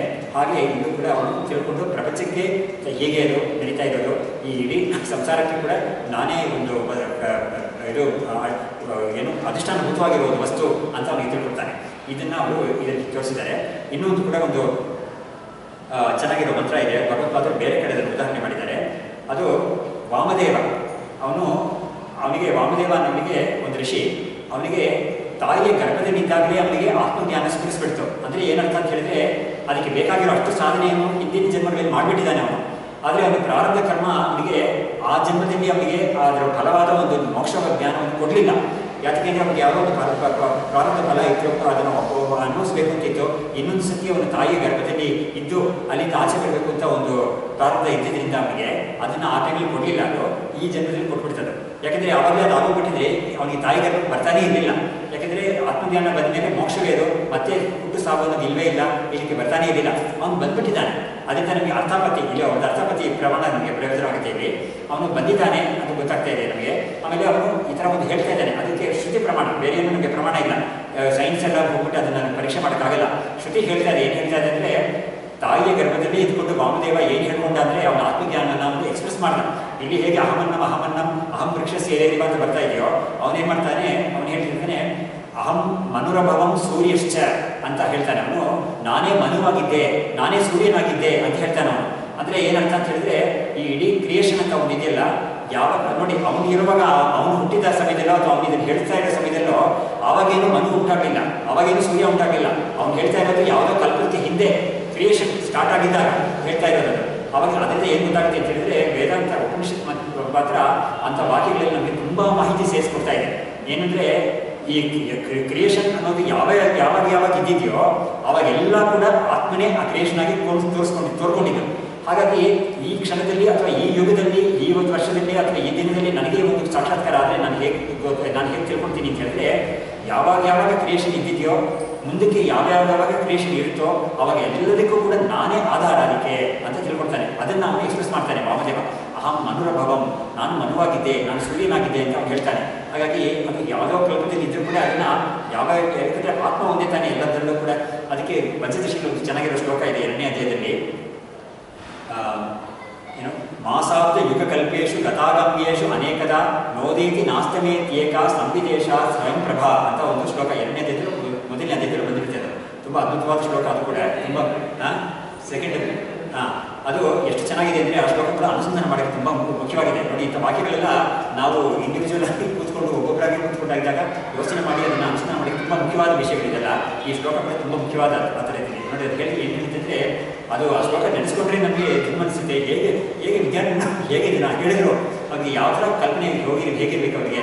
ಅಂದರೆ ಅವರು ಅಪರೋಕ್ಷ ಜ್ಞಾನಿ ಅನ್ನೋದನ್ನ ನಮಗೆ ಗೊತ್ತಾಗುತ್ತೆ. ಇಂಥ ವಿಷಯಗಳು ಇದುವರೆಗೆ ಬಾ ಹೇಳಕ್ಕೆ ಬರಲ್ಲ. ಸಾಮಾನ್ಯ ಪಂಡಿತನಿಗೆ ಇದನ್ನು ಹೇಳಕ್ಕೆ ಬರೋದೇ ಇಲ್ಲ ಇಂಥದ್ದು ಅವರಿಗೆ ಒಳಗಡೆ ಅದಕ್ಕೆ ಹೇಳಿದ್ರು, ಇವರು ಹಿಂದಿನ ಪ್ಯಾರಾಗ್ರಾಫಲ್ಲಿ ಶಂಕರಾಚಾರ್ಯರು ಅವರ ಮಂತ್ರಶಕ್ತಿಯನ್ನು ತುಂಬಿದ್ದಾರೆ ಅದರಲ್ಲಿ ಇಂಥ ಇಂಥ ಒಂದು ಮಹಾತ್ಮರು ಬರೆಯುವಾಗ ಅದರಲ್ಲಿ ಅವರು ಅನುಭವವೇ ಅವರು ಬರೀತಾ ಬರಿತಾ ಹೇಳ್ತಾ ಇದ್ದಾರೆ. ಅವರು ಶಬ್ದಗಳಿಗೆ ಹೇಳ್ತಾ ಇದ್ದಾರೆ. ಹಾಗಾಗಿ ನೋಡಿ, ಅವರು ಹೇಳ್ತಾ ಇದ್ದಾರೆ, ಅಲ್ಲಿ ಆ ಶ್ಲೋಕದಲ್ಲಿ ಪಂಚಶಿ ಶ್ಲೋಕದಲ್ಲಿ ಮಾಸ ಅಬ್ದ ಯುಗ, ಕಲ್ಪೇಶು ಅದಕ್ಕಿಂತ ಅವ್ರು ಏನು ಮಾಡಿದ್ರು ಚೈತನ್ಯ ಸ್ವರೂಪ ಇಂಥದ್ದು ಅಂತ ಅದನ್ನು ತೀರ್ಮಾನ ಮಾಡಿದ್ರು. ಅಂದರೆ ನಮಗೆ ಇಂದ್ರಿಯಗಳಿಂದ ಯಾವ ಒಂದು ಜ್ಞಾನವನ್ನು ಪಡ್ಕೊಳ್ತೀವೋ, ಆ ಜ್ಞಾನಗಳೆಲ್ಲ ಕೂಡ ವಾಸ್ತವವಾಗಿ ಈ ಶುದ್ಧ ಜ್ಞಾನದ ಒಂದು ವಿವರ್ತ ಅಂತ ಹೇಳಿದ್ರೆ ಶುದ್ಧ ಜ್ಞಾನ ಒಂದು, ಶುದ್ಧ ಜ್ಞಾನದ ಒಂದು ಕಲಬೆರಿಕೆ. ಇದಕ್ಕೆ ಉದಾಹರಣೆ ಏನು ಕೊಡ್ಬೋದು ಅಂತ ಹೇಳಿದ್ರೆ, ಶುದ್ಧವಾದ ನೀರು ನಮಗೆ ನಲ್ಲಿಯಿಂದ ಬರುತ್ತೆ ಅದು. ಶುದ್ಧ ಶುದ್ಧ ಅಂತ ನಾವು ಅನ್ಕೊಂಡಿದ್ವಿ ನೀವೇ ಶುದ್ಧ ನೀರು ಅಂತ ಒಳ್ಳೆ ಜಲ ಅಂತ ನೀವು ಹೇಳ್ತೀವಿ ಅದನ್ನ. ಆ ನೀರನ್ನ ಹಿಡಿದು ಹಿಡಿದಿಟ್ಕೊಂಡು ನೀರನ್ನ ನಾವೇನು ಮಾಡ್ತೀವಿ? ಎಲ್ಲ ಪದಾರ್ಥಕ್ಕೂ ಉಪಯೋಗಿಸ್ತೀವಿ ಅದನ್ನು. ಒಂದು ಸಾರು ಮಾಡೋಕ್ಕೆ ಹುಳಿ ಮಾಡೋಕ್ಕೆ, ಒಂದು ಪಾಯಸ ಮಾಡೋಕ್ಕೆ, ಒಂದು ಕಾಫಿ, ಟೀ ಮಾಡೋಕ್ಕೆ, ಎಲ್ಲದಕ್ಕೂ ಆ ನೀರನ್ನೇ ಬೆಳೆಸ್ತೀವಿ. ಆ ನೀರಿಗೆ ನಾವು ಏನೇ ಒಂದು ಕಲಬೆರಕೆ ಮಾಡ್ತೀವಿ. ಅದೇ ಕೂಡ ಅದಕ್ಕೆ ಮೂಲವಾಗಿರೋದು ನೀರು ಎಲ್ಲದಕ್ಕೂ ಕಾಮನ್ ಆಗಿದೆ. ಆ ಥರ ಈ ಶುದ್ಧ ಚೈತನ್ಯನೇ ಬೋಧ ರೂಪ ಅನ್ನೋದಕ್ಕೆ ನಿಮಗೆ ಒಂದು ನಾಲ್ಕೈದು ಕಡೆ ಅದನ್ನು ಉಪನ್ಯಾಸ ಮಾಡೋಕ್ಕೆ ಒಂದು ಅವಕಾಶ ಸಿಕ್ತು. ಹಿಂದಿನ ಸತಿ ಬೋ- ಬೋಧ ರೂಪ ಮಾಡುವಾಗ. ಆವಾಗ ನನಗೆ ಇದೇ ಥೀಮ್ ನನಗೆ ಎಲ್ಲ ಕಡೆಯೂ ಇದೇ ಥೀಮ್ ನಾನು ಇಟ್ಕೊಂಡಿದ್ದೆ ಅಂದರೆ ಇದೇ ಎಕ್ಸಾಂಪಲ್ ಹೇಳಿದೆ, ನೀರು ಎಕ್ಸಾಂಪಲ್ ಹೇಳಿದೆ. ಅಂತ ಕೊಟ್ಟಿರೋದು ಯಾವುದಕ್ಕೆ ಹೆಸರು ಅದಕ್ಕೆ ಅಂತ ಹೇಳಿದ್ರೆ ಯಾತಕ್ಕೆ ಯಾತಕ್ಕೆ ಹೇಳಿದ್ರೆ, ಆ ಶುದ್ಧ ಚೈತನ್ಯ ಸ್ವರೂಪ ಬೋಧ ರೂಪವೇ ಅದು. ಅದರ ರೂಪವೇ ಬೋಧ. ನೋಡಿ ರೂಪ ಅಂತ ಹೇಳಿದ್ರೆ ನನಗೆ ಫಾರ್ಮ್ ಅಂಡ್ ಶೇಪ್ ಅಂತ ಮನಸ್ಸಿಗೆ ಬರುತ್ತೆ. ಆದರೆ ಈ ಬೋಧೆಗೆ ಬಂದ್ಬಿಟ್ಟು ಫಾರ್ಮ್ ಶೇಪ್ ಯಾವುದೂ ಇಲ್ಲವೇ ಇಲ್ಲ. ಆದರೂ ಅದನ್ನು ಹೇಳಬೇಕಲ್ಲ ಅಂತ ಹೇಳ್ಬಿಟ್ಟು ರೂಪ ಬಂದದ್ದು ರೂಪವಿವ ರೂಪ ಅಷ್ಟೇನೆ ಅದು. ರೂಪ ಥರ ಒಂದು ರೂಪ ಅಷ್ಟೇನೆ, ಅಷ್ಟು ರೂಪ ಇಲ್ಲ ಅದಕ್ಕೆ. ಆದರೆ ಶುದ್ಧ ಚೈತನ್ಯ ಅಂತ ಈ ಶಬ್ದಜ್ಞಾನ, ಸ್ಪರ್ಶಜ್ಞಾನ, ರೂಪಜ್ಞಾನ, ರಸಜ್ಞಾನ ನಮಗೆ ಬರ್ತಾ ಇದೆಯಲ್ಲ ಆ ಜ್ಞಾನಗಳೆಲ್ಲ ಆ ಶಬ್ದ ಸ್ಪರ್ಶ ಸ್ಪರ್ಶ ರೂಪ, ರಸ ಗಂಧದ ಜೊತೆಗೆ ಸೇರ್ಕೊಂಡು ಸೇರ್ಕೊಂಡು ಅದು ಒಂದು ರೀತಿಯಲ್ಲಿ ಹೇಳಬೇಕಾದ್ರೆ ಮಾಲಿನ್ಯ ಹೊಂದು ಬರ್ತಾ ಇದೆ ಆ ಜ್ಞಾನಗಳು. ನಮಗೆ ಆ ಕಾರಣದಿಂದ ಹೇಳ್ತಾ ಇದ್ದಾರೆ, ಪ್ರಪಂಚದಲ್ಲಿ ನಿಮಗೆ ಯಾವುದೇ ಜ್ಞಾನ ಬರಲಿ ಅದು ಒಳ್ಳೆಯ ಒಂದು ಗ್ರಂಥದಿಂದ ಕೂಡ ಬರಲಿ ಅದು ಕೂಡ. ಆವಾಗ ಕೂಡ ಏನಾಗಿದೆ ಅದು, ಒಂದು ಶಬ್ದ ಒಂದು ಶಬ್ದ ಒಂದು ಶಬ್ದದ ಒಂದು ಮಾಲಿನ್ಯ ಅದಕ್ಕೆ ಸೇರಿಬಿಟ್ಟಿದೆ ಅದು. ಸತ್ಯ ಸಾತ್ವಿಕ ಇರ್ಬೋದು. ಅದರಿಂದ ನಮಗೆ ಬಿಡಿಸ್ಕೋಬೇಕು ಅನ್ನೋ ಕಾರಣದಿಂದಲೇ ಧ್ಯಾನ ಅನ್ನೋದು ಹೇಳುವಾಗ ಎಲ್ಲದರಿಂದಲೂ ಪೂರ್ತಿ ಬೆಳೆಸ್ಕೊಂಡಿನೋ ಆ ಶುದ್ಧ ಚೈತನ್ಯ ಅದು ಹೇಗಿದೆಯೋ ಶುದ್ಧವಾಗಿ ಯಾವ ಒಂದು ಮಾಲಿನ್ಯನೂ ಅದಕ್ಕೆ ಇಲ್ಲದೆ ಶುದ್ಧವಾಗಿ ಹೇಗಿದೆಯೋ ಹಾಗೆ ನೀನು ಕಂಡುಕೊಳ್ಳೋಕ್ಕೆ ನಿಮಗೆ ಆ ಒಂದು ಅಭ್ಯಾಸ ಚೆನ್ನಾಗಿರುತ್ತೆ ಅಂತ ಅದನ್ನು ತೋರಿಸಿದ್ದಾರೆ. ಇದನ್ನೆಲ್ಲ ಏನು ಮಾಡಿದ್ರು? ಇದಕ್ಕೆ ಮುಂಚೆನೇ ಅವರು ಪ್ರತಿ- ಪ್ರತಿಪಾದನೆ ಮಾಡಿಬಿಟ್ಟು ಒಂದು ಕನ್ಕ್ಲೂಷನ್ ಹೇಳ್ತಾ ಇದ್ದಾರೆ ಅದಕ್ಕೆ. ಏನು ಅಂತ ಹೇಳಿದ್ರೆ, ನೋಡು, ಈ ಚೈತನ್ಯ ಅನ್ನೋದಕ್ಕೆ ಹುಟ್ಟು ಸಾವು ಇಲ್ಲವೇ ಇಲ್ಲ. ಇದಕ್ಕೆ ನಮಗೆ ನಮಗೆ ಉಪನಿಷತ್ ಪ್ರಮಾಣ ಇದೆ ಅದಕ್ಕೆ. ಅಂದರೆ ಏನು ಅಂತ ಹೇಳಿದ್ರೆ ಶಂಕರಾಚಾರ್ಯರಿಗೆ ತುಂಬ ಹಿಡಿಸಿದ್ದ ಒಂದು ಮಂತ್ರ ಅದು ಕೂಡ ತುಂಬ ಕಡೆ ಅವರು ಅದನ್ನ ಹೇಳಿದ್ದಾರೆ ಅದನ್ನ. ನಹಿ ದ್ರಷ್ಟು ದೃಷ್ಟೇ ವಿಪರೀಲೋಪ ವಿದ್ಯತೆ ಅವಿನಾಶಿತ್ವಾತ್ ಅಂತ ಅದು ಬೃಹದಾರಣಿಕದಲ್ಲಿ ಬರೋ ಒಂದು ಮಂತ್ರ ಅದು. ಅದೇನರ್ಥ ಅಂತ ಹೇಳಿದ್ರೆ, ಈ ನಾವು ಪ್ರಮಾತೃ ಅಂತ ಆ ಪ್ರಮಾತೃಗೆ ಈ ನೋಡೋ ಶಕ್ತಿ ಅಥವಾ ತಿಳ್ಕೊಳ್ಳೋ ಶಕ್ತಿ ಅಂತ ಒಂದು ಶಕ್ತಿ ಇದೆಯಲ್ಲ, ಆ ಶಕ್ತಿ ಹಿನ್ನೆಲೆಯಿಂದ ಯಾವ ಒಂದು ಚೈತನ್ಯಕ್ಕೆ ಬರ್ತಾ ಇದೆಯೋ, ಆ ಚೈತನ್ಯಕ್ಕೆ ಹುಟ್ಟು ಸಾವು ಯಾವುದೂ ಇಲ್ಲವೇ ಇಲ್ಲ. ಅದಕ್ಕೆ ವಿಪರೀಣೋಪ ಅದಕ್ಕೆ ಒಂದು ಸ್ವಲ್ಪ ಹೊತ್ತದು ಇಲ್ಲದೆ ಹೋಯಿತು. It was black for some time it ಅದು ಅಂಥದ್ದು ಸ್ಥಿತಿ ಬರೋದೇ ಇಲ್ಲ ಅದಕ್ಕೆ. ಅದು ಯಾತಕ್ಕೆ ಅಂತ ಅದಕ್ಕೆ ಹೇತು ಹೇಳ್ತಾ ಇದೆ ಕಾರಣ ಹೇಳ್ತಾ ಇದೆ. ಅವಿನಾಶಿತ್ವ ಆ ಸ್ವರೂಪವೇ ಅವಿನಾಶಿ ಸ್ವರೂಪ ಹಾಗಾಗಿ ಅದಕ್ಕೆ ಒಂದು ಸತಿ ಹುಟ್ಕೊಡ್ತು. ಆಮೇಲೆ ಯಾವುದೋ ಒಂದು ಸಮಯದಲ್ಲಿ ಸ್ವಲ್ಪ ಸಮಯದಲ್ಲಿ ನಿಮಗೆ ಮೂರ್ಛೆ ನೋಡಿ, ನಮಗೆ ಏನಾಗುತ್ತೆ ಅಂತಂದರೆ ಮೂರ್ಛೆ ಅಂತ ಒಂದು ಸ್ಥಿತಿ ಬಂದಾಗ ಫಾರ್ ಎಕ್ಸಾಂಪಲ್ ಅಥವಾ ಡೀಪ್ ಸ್ಲೀಪ್ ಅಂತ ಬಂದಾಗ ಪ್ರಾಪಂಚಿಕ ಜ್ಞಾನಗಳೇನು ಬರೋದಿಲ್ಲ ಆ ಸಮಯದಲ್ಲಿ. ಹಾಗಾಗಿ ನಮಗೆ ಪ್ರಾಪಂಚಿಕ ಜ್ಞಾನಗಳಿಗೆ ನಮಗೆ ಒಂದು ತಡೆ ಬಂದ್ಬಿಡ್ತು. ಒಂದು ಸ್ವಲ್ಪ ಸ್ವಲ್ಪ ಹೊತ್ತು ಅದಕ್ಕೆ ಒಂದು ಬ್ಲಾಕ್ ಇತ್ತು ಅಂತ ನಾವು ಹೇಳ್ಬೋದು. ಆದರೆ ನಮ್ಮ ಚೈತನ್ಯ ಇದೆಯಲ್ಲ.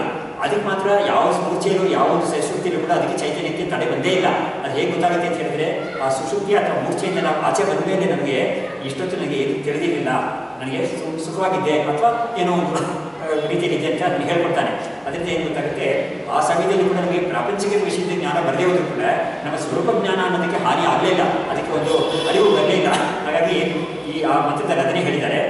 ಅದು ಇದಕ್ಕೆ ಹಿನ್ನೆಲೆ ಯಾರು ನಮ್ಮ ವಿದ್ಯಾರ್ಥಿ ಹೇಳ್ತಾರೆ ಶ್ಲೋಕಕ್ಕೆ ಹಿನ್ನೆಲೆ ಯಾವುದು ಅಂತ ಹೇಳಿದ್ರೆ, ಆ ಒಂದು ಪ್ರಮಾಣ ನಮಗಿದೆ. ಅದಕ್ಕೆ ಹುಟ್ಟು ಸಾವು ಯಾವುದೂ ಇಲ್ಲ. ಅದು ಶಾಶ್ವತವಾಗಿ ಯಾವಾಗಲೂ ಇರುತ್ತೆ. ಅದನ್ನು ಹೇಳ್ತಾ ಇದ್ದಾರೆ ಅವರು, ಒಂದು ನೋಡು, ಇವಾಗ ಬೆಳಿಗ್ಗೆಯಿಂದ ರಾತ್ರಿ ತನಕ ನಿಮಗೆ ಏನೇನು ಜ್ಞಾನಗಳು ಬಂತೋ, ಆ ಜ್ಞಾನಗಳೆಲ್ಲ ಪ್ರಜ್ಞಾನ ಬ್ರಹ್ಮ. ಅದು ನಮ್ಮ ಈ ಈ ಜ್ಞಾನಗಳೆಲ್ಲ ಕೂಡ ಈ ಶುದ್ಧ ಚೈತನ್ಯದ ಒಂದು ವಿವರತೆಗಳು. ಒಂದು ಒಂದು ದಿವಸಕ್ಕೆ ಇಷ್ಟು ಇದೇ ಲೆಕ್ಕ. ಲೆಕ್ಕ ಅಂತಂದರೆ ಒಂದು ದಿವಸದ ಅನಾಲಿಸಿಸ್ ಮಾಡಿದಂಥ ಕನ್ಕ್ಲೂಷನ್ ಏನಾಯಿತು? ನನ್ನ ಒಂದು ಚೈತನ್ಯ ಸ್ವರೂಪವೇ ಈ ನಾನಾ ಜ್ಞಾನಿಗಳಾಗಿ ನನಗೆ ಆವತ್ತು ಕೆಲಸ ತೋರ್ಕೊಂಡಿದೆ ಅಂತ. ಅದನ್ನು ನೀನು ಎಕ್ಸ್ಟೆಂಡ್ ಮಾಡು, ಒಂದು ವಾರಕ್ಕೆ ಎಕ್ಸ್ಟೆಂಡ್ ಮಾಡು, ಒಂದು ಫೋರ್ಟ್ ನೈಟ್ಗೆ ಎಕ್ಸ್ಟೆಂಡ್ ಮಾಡು, ಒಂದು ತಿಂಗಳಿಗೆ ಮಾಡು. ಎಲ್ಲ ದಿವಸಗಳು ಅದೇ ಥರ ತಾನೇ ಇದೆ ಒಂದೊಂದು ದಿವಸವೂ ಕೂಡ ನಮಗೆ ಬೆಳಿಗ್ಗೆಯಿಂದ ಹೇಳ್ತೀವಿ ಅಲ್ಲಿ ಉಜ್ತೀವಿ ಒಂದು ಸ್ವಲ್ಪ ಕಾಫಿನ ಏನೋ ಕುಡಿತೀವಿ, ಆಮೇಲೆ ಹೊಟ್ಟೆ ಹಸಿಯುತ್ತೆ, ಸ್ನಾನ ಮಾಡೋದು ಎಲ್ಲ ಮಾಡ್ತೀವಿ.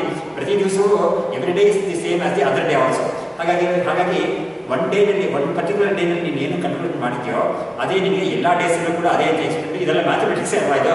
ಹಾಗಾಗಿ ಪ್ರತಿ ದಿವಸ ನೀನು ಇದನ್ನ ಈ ರೋಲ್ ಎಕ್ಸ್ಟೆಂಡ್ ಮಾಡ್ಬೋದು ಅಪ್ಲೈ ಮಾಡ್ಬೋದು. ನೋಡಿ, ಎಷ್ಟು ಚೆನ್ನಾಗಿದೆ ಅಂದರೆ ನಮಗೆ ಇಂಥ ಒಂದು ಕೆಲಸಗಳಿಗೆ ಹೋಗುವಾಗ ನಮಗೆ ಶ್ರುತಿ ಇದು ಯುಕ್ತಿ, ಅದೆಲ್ಲ ಸೇರ್ಕೊಂಡು ಸೇರ್ಕೊಂಡು ಬರುತ್ತೆ. ಹಾಗಾಗಿ ಇದೇ ಯುಕ್ತಿಗಳಿದ್ದಾರೆ ಒಂದು ದಿವಸಕ್ಕೆ ನೀನು ಏನು ತೀರ್ಮಾನ ಮಾಡಿದ್ಯೋ, ಅದೇ ಹಣೆ ಬರಣೆ ಇನ್ನೊಂದು ದಿವಸಕ್ಕೆ ಕೂಡ ಇದೆ ಹಾಗಾಗಿ ಒಂದು ವರ್ಷ ಕೂಡ ಅದೇ ಇರುತ್ತೆ. ಅದನ್ನ ಏನು ಮಾಡ್ತಾರೆ ಅವರು? ಬುದ್ಧಿವಂತಿಕೆಯಿಂದ ಅವರು ಎಷ್ಟು ದೂರ ಮಾಡ್ತಾರೆ ಅಂತ ಹೇಳಿದ್ರೆ ಅಲ್ಲಿ ಇರೋದು ಚಮತ್ಕಾರ. ಜನ್ಮಾಂತರಕ್ಕೆ ಎಕ್ಸ್ಟೆಂಡ್ ಮಾಡ್ತಾರೆ ಅವರು. ನೋಡು, ಈ ಜನ್ಮದಲ್ಲಿ ನಿನಗೆ ಹೀಗಿದೆಯಲ್ವಾ ಒಂದು ದಿವಸ ಒಂದು ಜನ್ಮದಲ್ಲಿ ಎಷ್ಟೋ ದಿವಸಗಳಾಗಿದೆ. ಎಷ್ಟೋ ವರ್ಷಗಳಿದ್ದೀಯಾ ಒಂದೊಂದು ದಿವಸದಲ್ಲೂ ಇದೇ ಥರನೇ ಅನುಭವ ಬಂದಿದೆ. ಇದೇ ಜನ್ಮನೇ ಜನ್ಮಾಂತರಗಳಲ್ಲಿ ಕೂಡ ಇದೇ ತಾನೇ ಆಗಿರ್ಬೇಕು ನಿನಗೆ. ಒಂದು ಚೈತನ್ಯಕ್ಕೆ ತಾನೇ ಜನ್ಮಾಂತ ಬರೋದು. ಕಾಲು ಕಣ್ಣಿಗೆ ಕಲ್ಲಿಗೆ ಮಣ್ಣಿಗೆ ಜನ್ಮ ಬರಲ್ಲ. ಹಾಗಾಗಿ ನೀನು ಪಕ್ಷಿಯಾಗಿಯೋ, ಒಂದು ಪ್ರಾಣಿಯಾಗಿಯೋ ಅಥವಾ ಒಂದು ಗಿಡವಾಗಿಯೋ, ಮರವಾಗಿಯೋ ಕೂಡ ಯಾವುದಾದ್ರೂ ಒಂದು ಜನ್ಮದಲ್ಲಿ ಇದ್ದಿದ್ರು ಕೂಡ ಅಲ್ಲೂ ಕೂಡ ಇದೇ ಥರನೇ ಈ ರೂಲೇ ಅಪ್ಲೈ ಆಗೋದು ಅಲ್ಲೂ ಕೂಡ. ಹಾಗಾಗಿ ನಿನ್ನ ಚೈತನ್ಯ, ಶುದ್ಧ ಚೈತನ್ಯ ನಿನ್ನ ಸ್ವರೂಪ ಅದು. ಹೊರಗೆ ಬರೋ ಜ್ಞಾನ ಅದರದ್ದು ಕಲಬೆರಕೆ ಹಾಗಾಗಿ ಆ ಕಲಬೆರಕೆ ಆಗಿರೋದು it's only impure but pure ಜ್ಞಾನ ಏನು ಅಂತ ತಿಳ್ಕೊಳ್ಳೋಕ್ಕೆ ಈಗ ಒಂದು ಯುಕ್ತಿ ತೋರಿಸ್ಕೊಟ್ರು ಈಗ ಅವ್ರು ಏನು ಮಾಡ್ತಾ ಇದ್ದಾರೆ ಮಾಸಾಬ್ದ ಯುಗ ಕಲ್, ಮಾಸ ಅಬ್ದ ಅಬ್ದ ಒಂದು ವರ್ಷ, ಯುಗ ತಗೊಂಡು ಹೋದ್ರು ಒಂದು ಯುಗ ಅಂತ ಹೇಳಿದ್ರೆ ಎಷ್ಟು ಸಾವಿರಾರು ವರ್ಷಗಳು. ಆಮೇಲೆ ಕಲ್ಪ, ಇನ್ನೂ ಎಷ್ಟೋ, ಇನ್ನೂ ಸ್ವಲ್ಪ ಸಾವಿರ ವರ್ಷಗಳು ಅದು ಅದು ಬ್ರಹ್ಮ, ಬ್ರಹ್ಮನ ಒಂದು ದಿವಸ ಅನ್ನೋದನ್ನೆಲ್ಲ ಲೆಕ್ಕ ಮಾಡಿ ಹೇಳ್ತಾರೆ. ಅದು ತುಂಬ ದೊಡ್ಡ ಒಂದು ಯೂನಿಟ್ ಟೈಮಲ್ಲಿ ಅಥವಾ ತುಂಬ ದೊಡ್ಡ ಒಂದು ಕಲ್ಪನೆ ಟೈಮಲ್ಲಿ ಅಂಥದ್ರಲ್ಲಿ ಎಲ್ಲದರಲ್ಲೂ ಕೂಡ ಈ ಚೈತನ್ಯ ಅನ್ನೋದಕ್ಕೆ ಒಂದು ಅಳಿವು ಬಂದೇ ಇಲ್ಲ, ಆ ಚೈತನ್ಯ ಯಾವಿದ್ರೆ ನೀನೇ ಆ ಚೈತನ್ಯ ಅಂತ ತೋರಿಸ್ಕೊಡ್ತಾ ಇದ್ದಾರೆ. ಹಾಗಾಗಿ ನೀನು ಯಾವಾಗಲೂ ಇದ್ದಿದ್ದೀಯಾ ಯಾವಾಗಲೂ ಇರುತ್ತೀಯ ಬೇರೆ. ಹಾಗಾಗಿ ನಿನ್ನ ಒಂದು ಸ್ವರೂಪಕ್ಕೆ ಯಾವತ್ತೂ ಅಳಿವು ಅನ್ನೋದು ಬರೋದೇ ಇಲ್ಲ ಅಂತ ಹೇಳ್ಬಿಟ್ಟು ಅಂಥ ಒಂದು ಮಾಹಿತಿ ಅವರು ನಿಮಗೆ ಆ ಶ್ಲೋಕದಲ್ಲಿ ತೋರಿಸ್ಕೊಡ್ತಾರೆ ಎಷ್ಟು ಚೆನ್ನಾಗಿದೆ ಅಲ್ವಾ ಅದು ನಮಗೆ ಅಭ್ಯಾಸ ಮಾಡೋಕ್ಕೆ? ಹೇಳ್ತಾರೆ, ನೋದೇತಿ ನಾಸ್ತನೇತಿ ಇದು ಎಷ್ಟೋ ಯುಗಗಳಾಗಲಿ, ಎಷ್ಟು ಕಲ್ಪಗಳಾಗಲಿ, ಪರವಾಗಿಲ್ಲ. ಆದರೆ ಈ ಚೈತನ್ಯ ನಿಮ್ಮ ಸ್ವರೂಪ ಚೈತನ್ಯ ಏನಿಲ್ಲ, ಅದಕ್ಕೆ ಯಾವತ್ತೂ ಕೂಡ ಹುಟ್ಟಿಲ್ಲ, ಯಾವತ್ತೂ ಕೂಡ ಅಳಿವಿಲ್ಲ, ಯಾವತ್ತೂ ಮಧ್ಯದಲ್ಲಿ ಅದು- ಅದಕ್ಕೆ ಏನೋ ಒಂದು ಹೊಟ್ಟೋಯ್ತು ಅಂತ ಹೇಳಕ್ಕೆ ಅದು ಕೂಡ ಏನು ಬಂದಿಲ್ಲ. ಅದಕ್ಕೆ ಅಂತ ಹೇಳ್ಬಿಟ್ಟು ಆಗ ನಮಗೆ ತುಂಬ ಚೆನ್ನಾಗಿ ಒಂದು ಶ್ಲೋಕವನ್ನು ಕೊಟ್ಟಿದ್ದಾರೆ. ಅದು ಕೂಡ ನಮಗೆ ಒಂದು ಆಶ್ರಮ ದರ್ಶನ ಅಂತ ಹೇಳ್ಬೋದು ಅದನ್ನು. ಶ್ಲೋಕ ಏನು ಯಾಕಂದರೆ ನೋಡಿ ಇವಾಗ ಗುರುಗಳೇ ನಮ್ಮ ಮೇಷ್ಟ್ರು ಏನು ಮಾಡಿದ್ದಾರೆ? ದಕ್ಷಿಣಾಮೂರ್ತಿ ಸ್ತೋತ್ರವನ್ನು ಆಶ್ರಮ ದರ್ಶನದ ರೀತಿ ಅಂತ ಹೇಳಿದ್ರು. ಅದಕ್ಕೆ ಉದಾಹರಣೆ ಕೊಡ್ತಾ ಇದ್ದಾರೆ. ಉಪನಿಷತ್ತಿಂದ ಉದಾಹರಣೆ ಕೊಡ್ತಾ ಇದ್ದಾರೆ. ಇವಾಗ ನಾವೇನ್ ಮಾಡ್ತಾ ಇದ್ದೀವಿ ಅದನ್ನ? ಪಂಚದಶೀಲಿ ಅವರು ಹೇಳಿರೋ ವಿದ್ಯಾರ್ಥಿಗಳ ಮಾತು ಕೂಡ ಇದೇ ಥರ ಮಾತೆ ದರ್ಶನವಾದ ಮಾತೇ ಅದು ಅಂತ ಅವರಿಗೆ ಅದಕ್ಕೆ ಇಂಥ ಒಂದು ಮಾತು ಖಂಡಿತ ಒಂದು ಜ್ಞಾನಿಗಳಿಂದನೇ ಬರಕ್ಕೆ ಸಾಧ್ಯ. ಇನ್ನೊಂದು ಕಡೆ ಅದೇ ಪಂಚದಶೀಲೆ ಬರುತ್ತೆ, ಅದಕ್ಕೆ ಅಂತ ಒಂದು ಅವರ ಒಂದು ಸ್ವರೂಪ ಜ್ಞಾನಿ ಎಂಥದ್ದು ಅವ್ರಿಗೆ ಇಂಥ ಒಂದು ಅಪ್ರೋಷ ಜ್ಞಾನ ಇತ್ತು ಅನ್ನೋದಕ್ಕೆ ನಮಗೆ ತೀರ್ಮಾನ ಆಗಕ್ಕೆ ಒಂದು ಶ್ಲೋಕದಲ್ಲಿ ಅವರು ಹೇಳ್ತಾರೆ, ಒಂದು ಚಾಪ್ಟರ್ಲಿ ಕೊನೆ ಮುಗಿಯುವಾಗ ಧನ್ಯೋಹಂ ಧನ್ಯೋಹಂ ಅಂತ ಅವ್ರು ಬರ್ತಲ್ಲ ಅದರಲ್ಲಿ ಒಂದು ಕಡೆ ಹೇಳ್ತಾರೆ, ಧನ್ಯೋಹಂ ಧನ್ಯೋಹಂ, ಆತ್ಮಾನಂ ಅಂಜಸಾ ವೇಗ್ಮಿ ನನ್ನ ಆತ್ಮಸ್ವರೂಪವನ್ನು ಡೈರೆಕ್ಟಾಗಿ ನಾನು ತಿಳ್ಕೊಳ್ತಾ ಇದ್ದೀನಿ. ಡೈರೆಕ್ಟಾಗಿ ಅನುಭವಿಸ್ತಾ ಇದ್ದೀನಿ. ಅಂಜಸಾ ಅಂಚೆ ಅಂತ ಹೇಳಿದ್ರೆ ಡೈರೆಕ್ಟಾಗಿ ಯಾವುದು ವ್ಯವಧಾನನೂ ಇಲ್ಲದೆ ಡೈರೆಕ್ಟಾಗಿ ನಾನು ಅಪರೋಕ್ಷವಾಗಿ ನಾನು ತಿಳಿತಾ ಇದ್ದೀನಿ ಅಂತ ಅವ್ರು ಮಾಹಿತಿ ಅವ್ರು ಹೇಳ್ತಾರೆ. ಧನ್ಯೋಹಂ ಧನ್ಯವಾದ ಅಂತ ಹೀಗೆ ಆತ್ಮಜ್ಞಾನಿಗೆ ಇಂಥ ಒಂದು ಭಾವನೆ ಬರುತ್ತೆ ಅಂತ ಅವರು ಆತ್ಮಜ್ಞಾನಿ ಮುಖಾಂತರ ಅದನ್ನು ಹೇಳ್ತಾ ಇದ್ದಾರೆ. ತನಗೆ ಬಂದಿದ್ದ ಅನುಭವನೇ ಹೇಳ್ತಾ ಇದ್ದಾರೆ. ಇಲ್ಲೂ ಕೂಡ ಆತ್ಮಜ್ಞಾನಿ ಮುಖಾಂತರ ಉಪನಿಷತ್ತು ಹೇಳ್ತಾ ಇದ್ದಾರೆ. ಹಾಗಾಗಿ ಅದನ್ನು ಕೂಡ ನಾವು ಅದಕ್ಕೆ ಜೋಡಿಸ್ಕೋಬಹುದು ಇದಕ್ಕೆ ಮುಂದಕ್ಕೆ ಮುಂದಕ್ಕೆ ಹೇಳೋಣ While this is swabhavika, that is spontaneous in the case of the realized soul, it happens to be the means to be adopted for securing the realization. This is made clear in the Gita Bhashya 2.55 by Sri Acharya Pada, who has graciously said, Sarvatraiva hi adhyatma shastre kritartha lakshanani yani ತಾನ್ಯೇವ ಸಾಧನಾನಿ ಉಪದಿಶ್ಯಂತೆ ಎತ್ತ ಸಾಧ್ಯತ್ವ ಅಂತ ಈ ವಾಕ್ಯ ನಮಗೆ cut ಮಾಡಿಸಿದ್ರು ಮೇಷ್ಟ್ರು ಇದನ್ನ ಪದೇ ಪದೇ ಕೇಳಿಸಿ ಆ ಫೇವ್ರೇಟ್ ತುಂಬ ಇಷ್ಟ ಇದೆ. ಸರ್ವತ್ರೈಹಿ ಅಂತ ವಾಕ್ಯನೇ ಅಷ್ಟೇ ಹೇಳೋದಕ್ಕೆ ಆ ವಾಕ್ಯವನ್ನು ಹೇಳಿ ನಮಗೆ ಗಟ್ ಮಾಡಿಸಿದ್ವಿ ವಾಕ್ಯವನ್ನ. ಇಂಥದ್ದು ಇದನ್ನು ಏನು ಹೇಳಿದ್ದಾರೆ ಅಂದರೆ, ನೋಡಿ, ಈ ವಿಷಯ ಕೂಡ ನಮಗೆ ತುಂಬ ಚೆನ್ನಾಗಿದೆ ಅನಿಸುತ್ತೆ ಮಾಡೋಕ್ಕೆ. ಅವರು ಮಹೇಶ್ವರ ಹೇಳ್ಕೊಡ್ತಾ ಇದ್ದಾರೆ. ಅಂದರೆ ಈ ಅಹಂವೃಕ್ಷ ಸೇರಿವ ನಾನು ಹೇಳಿದ ಈ ಶ್ಲೋಕ ಯಾವುದು? ಈ ಮಾಸಾಬ್ದ ಯುಗಕಲ್ಪೇಶು ಅಂತ ಪಂಚದಶಿಲಿ ಬಂದಿರೋದು. ಅಂಥದ್ದೆಲ್ಲ ನಾವು ಅನುಸಂಧಾನ ಮಾಡೋಕ್ಕೆ ತುಂಬ ಚೆನ್ನಾಗಿರೋ ಶ್ಲೋಕಗಳು. ಅದು ಅದು ಅನುಸಂಧಾನ ಮಾಡಬೇಕು ನಾವು ಅಂತ ಹೇಳ್ತಾ ಇದ್ದಾರೆ. ಏನು ಹೇಳ್ತಾ ಇದ್ದಾರೆ ಅಂದರೆ, ಆ ಶ್ಲೋಕಗಳನ್ನ ಯಾರು ಬರೆದಿರೋ, ಅವ್ರುಗಳಿಗೆ ಅದು ಸ್ವಾಭಾವಿಕವಾಗಿ ಬಂದ್ಬಿಟ್ಟಿದೆ ಅದು. ಏನು ಕಲ್ಪನೆ ಮಾಡಿ ಇದನ್ನು ಬರೆಯೋಣಪ್ಪ ಅಂತ ಹಿಸ್ಟ್ರಿ ಏನು ಅವರು ಒಂದು ಪ್ಲಾನ್ ಮಾಡಿ ಏನು ಬರೀ ಕೂತ್ಕೊಂಡಾಗ ಅವರಿಗೆ ಗಡಗಡ ಅಂತ ಬರ್ತಾ ಇದೆ ಅವರಿಗೆ. ಮಂತ್ರ ದೃಷ್ಟ ಅವರಿಗೆಲ್ಲ ಈ ಥರ ಅವರಿಗೆ ಮನಸ್ಸಿಂದಲೇ ಬರ್ತಾ ಒಳಗಡೆಯಿಂದಲೇ ಬರ್ತಾ ಇದೆ ಇದು ನಮಗೆ ಹೊರಗಡೆ ಒಳಗಡೆಯಿಂದ ಬರ್ತಾ ಇಲ್ಲ ಇವಾಗ. ಆದರೆ ನಮಗೆ ಆ ಸ್ಥಿತಿಯನ್ನು ಹೊಂದಕ್ಕೆ ನಾವು ಏನು ಮಾಡಬೇಕು ಅಂದರೆ ಅವ್ರು ಹೇಳಿದ ಈ ವಾಕ್ಯಗಳನ್ನ ನಾವು ನಾವು ಅನುಸಂಧಾನ ಮಾಡಬೇಕು ಮತ್ತೆ ಮತ್ತೆ ಅಂತ. ಹಾಗಾಗಿ ಆ ಅಭ್ಯಾಸವನ್ನು ನಾವು ಮಾಡಬೇಕು. ನಮಗೆ ಅಭ್ಯಾಸ ಅದು. ಅವರಿಗೆ ಅದು ಸ್ವಾಭಾವಿಕ. ಆದರೆ ಅವ್ರಿಗೆ ಹೇಗೆ ಸ್ವಾಭಾವಿಕವಾಯಿತು ಅಂತ ಹೇಳಿದ್ರೆ ಅವರು ಒಂದು ಕಾಲದಲ್ಲಿ ಒಂದಾನೊಂದು ಕಾಲದಲ್ಲಿ ಅಭ್ಯಾಸ ಮಾಡಿದ್ದಾರೆ. ಅವರು ಹಾಗಾಗಿ ಅವರು ನಮಗೆ ಒಂದು ಮಾರ್ಗ, ಒಂದು ಆದರ್ಶ ಪುರುಷನಾಗಿದ್ದಾರೆ ಅವರು ಯಾಕಂದ್ರೆ ನಮ್ಮ ಥರನೇ ಅವರು ಕೂಡ ಒಂದಾನೊಂದು ಸಮಯದಲ್ಲಿ ತನ್ನನ್ನು ಸಂಸಾರಿ ಅಂತ ಅಂದ್ಕೊಂಡು ಅಜ್ಞಾನದಲ್ಲಿ ಇದ್ದವರು. ಅವ್ರು ಏನು ಮಾಡಿದ್ದಾರೆ? ಒಂದು ಸಾಧನೆ ಮಾಡಿ ಅವರು ಆ ಒಂದು ಸ್ಥಿತಿಯನ್ನು ಹೊಂದಿದ್ದಾರೆ. ಹಾಗಾಗಿ ಅವರು ನಮಗೆ ಒಂದು ಮಾರ್ಗದರ್ಶಿ ಆಗ್ತಾರೆ, ಮಾದರಿ ಆಗ್ತಾರೆ ನಮಗೆ. ಹಾಗಾಗಿ ಅವರು ಒಂದು ಮಾತುಗಳಿದೆಯಲ್ಲ, ಆ ಮಾತುಗಳನ್ನ ನಾವು ಕೂಡ ಅನುಕರಣೆ ಮಾಡಬೇಕು. ಮಾಡ್ಕೊಳ್ಳುವಾಗ ನಮಗೆ ಅಂತ ಒಂದು ಸ್ಥಿತಿ ನಮ್ಮನ್ನು ಬರುತ್ತೆ ಅಂತ ಕಾರಣದಿಂದ ಅದು ಅದಕ್ಕೆ ಪ್ರಮಾಣ ಇದೆ, ಅದಕ್ಕೆ ಭಗವತ್ಪಾದರ ವಾಕ್ಯ ಇದೆ, ನಮಗೆ ನೋಡಿ ಹೇಳ್ತಾ ಇದ್ದಾರೆ, ಸರ್ವತ್ರೈವ ಹಿ ಅಧ್ಯಾತ್ಮ ಶಾಸ್ತ್ರೆ ಅಧ್ಯಾತ್ಮ ಶಾಸ್ತ್ರ ಅಂತ ಯಾವೊಂದು ನಮಗೆ ಹೇಳ್ತೀವೋ ಯಾವ್ಯಾವ ಶ್ರುತಿ, ಸ್ಮೃತಿ, ಪುರಾಣಗಳು, ಆಮೇಲೆ ಮಹಾತ್ಮರ ವಾಕ್ಯಗಳು, ಇದೆಲ್ಲ ಅಧ್ಯಾತ್ಮ ಶಾಸ್ತ್ರ ಅಂತ ನಮಗೆ ಸೇರುತ್ತೆ. ಆ ಶಾಸ್ತ್ರಗಳಿಗೆ ಎಲ್ಲವೇ, ಎಲ್ಲದರಲ್ಲೂ ಕೂಡ ಕೃತಾರ್ಥ ಲಕ್ಷಣಾನಿ, ಅಂದರೆ ಕೃತಾರ್ಥ ಅಂತ ಹೇಳಿದರೆ ಆತ್ಮಜ್ಞಾನವನ್ನು ಪಡ್ಕೊಂಡಿರೋನು ಅಪರೋಕ್ಷ ಜ್ಞಾನಿ, ಮುಕ್ತ, ಜೀವಮುಕ್ತ. ಅವನ ಒಂದು ಲಕ್ಷಣಗಳು ಏನೇನು ಹೇಳಿದಾರೋ ಫಾರ್ ಎಕ್ಸಾಂಪಲ್ ಅದ್ವೇಷ್ಟ ಸರ್ವಭೂತಾನ ಮೈತ್ರಕರಣ ದೇವಚ ಅಂತ ಗೀತೆಯಲ್ಲೆಲ್ಲ ಬರ್ತಲ್ಲ, ಅಂಥದ್ದು ಗೀತೆಯಲ್ಲಿ ಎರಡನೇ ಅಧ್ಯಾಯದಲ್ಲಿ, ಹದಿನಾಲ್ಕನೇ ಅಧ್ಯಾಯದಲ್ಲಿ, ಹನ್ನೆರಡನೇ ಅಧ್ಯಾಯದಲ್ಲಿ, ಹದಿಮೂರನೇ ಅಧ್ಯಾಯದಲ್ಲಿ, ಹದಿನಾಲ್ಕನೇ ಅಧ್ಯಾಯದಲ್ಲಿ ಇಂಥ ಕಡೆಯೆಲ್ಲ ಎಲ್ಲ ಮುಕ್ತ ಭಕ್ತ ಗುಣಾತೀತ ಇಂಥ ಸುತ್ತಪ್ರಜ್ಞ ಇಂಥ ಲಕ್ಷಣಗಳೆಲ್ಲ ಹೇಳಿದ್ದಾರೆ. ಇಂಥ ಲಕ್ಷಣಗಳೆಲ್ಲ ಏನೇನು ಹೇಳಿದ್ದಾರೋ ಅದನ್ನು ನಾವು ಅಭ್ಯಾಸ ಮಾಡಬೇಕು.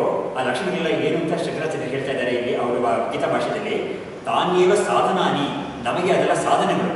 ಯಾಕಂದರೆ ನಮಗೆ ಅದರ ಮೀನ್ಸ್ ಅದು ಅವರಿಗೆ ಎಂಡ್ ಪ್ರಾಡಕ್ಟ್ ಆಗಿ ಅದು ಹೊರಗಡೆ ಬಂದಿದೆ ಅದು. ನಮಗೆ ಅದೆಲ್ಲ ಮೀನ್ಸ್ ಆಗುತ್ತೆ ಅಂತ ಹೇಳ್ಬಿಟ್ಟು ಅದನ್ನ ಎಂದೆ ಯಾಕೆ ಯಾತಕ್ಕೆ ನಮಗೆ ಉಪದೇಶ ಮಾಡ್ತಾ ಇದೆ ಅಂತ ಹೇಳಿದ್ರೆ ಯತ್ನ ಸಾಧ್ಯತ್ವ ಅಂತ ಹೇಳ್ತಾ ಇದ್ದಾರೆ. ನೋಡಿ, ಎಲ್ಲ ಕಡೆ ನಾವು ಇಂಥ ಕಡೆ ನೋಡುವಾಗೆಲ್ಲ ನಮಗೆ ಒಂದು ಕಾರಣ ಕೊಡ್ತಾರೆ ಅವರು. ಯಾಕಂದ್ರೆ ಕಾರಣ ಕೊಡದೆ ಯಾರು ತಗೊಳ್ಳೋದಿಲ್ಲ ಇಂಟೆಲೆಕ್ಟ್ ಅಂತ ಇದೆಯಲ್ಲ ಹ್ಯೂಮನ್ ಇಂಟೆಲೆಕ್ಟ್ ಅದು ಸುಮ್ಮನೆ ನೀನು ಇದನ್ನು ಹೇಳ್ಬಿಟ್ಟು ನಂಬು ಇದನ್ನ ಅಂತ ಹೇಳಿದ್ರೆ ನಂಬಲ್ಲ ಯಾತಕ್ಕೆ ಅಂತ ಪ್ರಶ್ನೆ ಮಾಡುತ್ತೆ. ಆ ಪ್ರಶ್ನೆ ಮಾಡೋಕ್ಕೆ ಉತ್ತರ ಕೊಡೋಕ್ಕಾಗಿ ನಮ್ಮ ಶಾಸ್ತ್ರ- ಎಲ್ಲ ಕಡೆನೂ ಒಂದು ಮೂಢನಂಬಿಕೆ ಥರ ಮಾಡಲೇ ಇಲ್ಲ ಅದನ್ನು. ತುಂಬ ಚೆನ್ನಾಗಿ ಅದಕ್ಕೆ ವಿಚಾರಕ್ಕೆ ಜಾಗ ಕೊಟ್ಟಿದ್ದೆ, ಸ್ಥಳ ಸ್ಥಾನ ಕೊಟ್ಟಿದ್ದಾರೆ. ಅದಕ್ಕೆ ಪ್ರಶ್ನೆಗಳಿಗೆಲ್ಲ ಉತ್ತರ ಮಾಡೋಕ್ಕೆ ಉತ್ತರ- ಉತ್ತರ ಕೊಡೋದು, ಪ್ರಶ್ನೆ ಉತ್ತರ ಅಂತಾನೆ ಆ ರೀತಿಯಲ್ಲೇ ಉಪನಿಷತ್ಗಳಲ್ಲೂ ಕೂಡ ಅದೇ ರೀತಿ ಬಂದಿದೆ.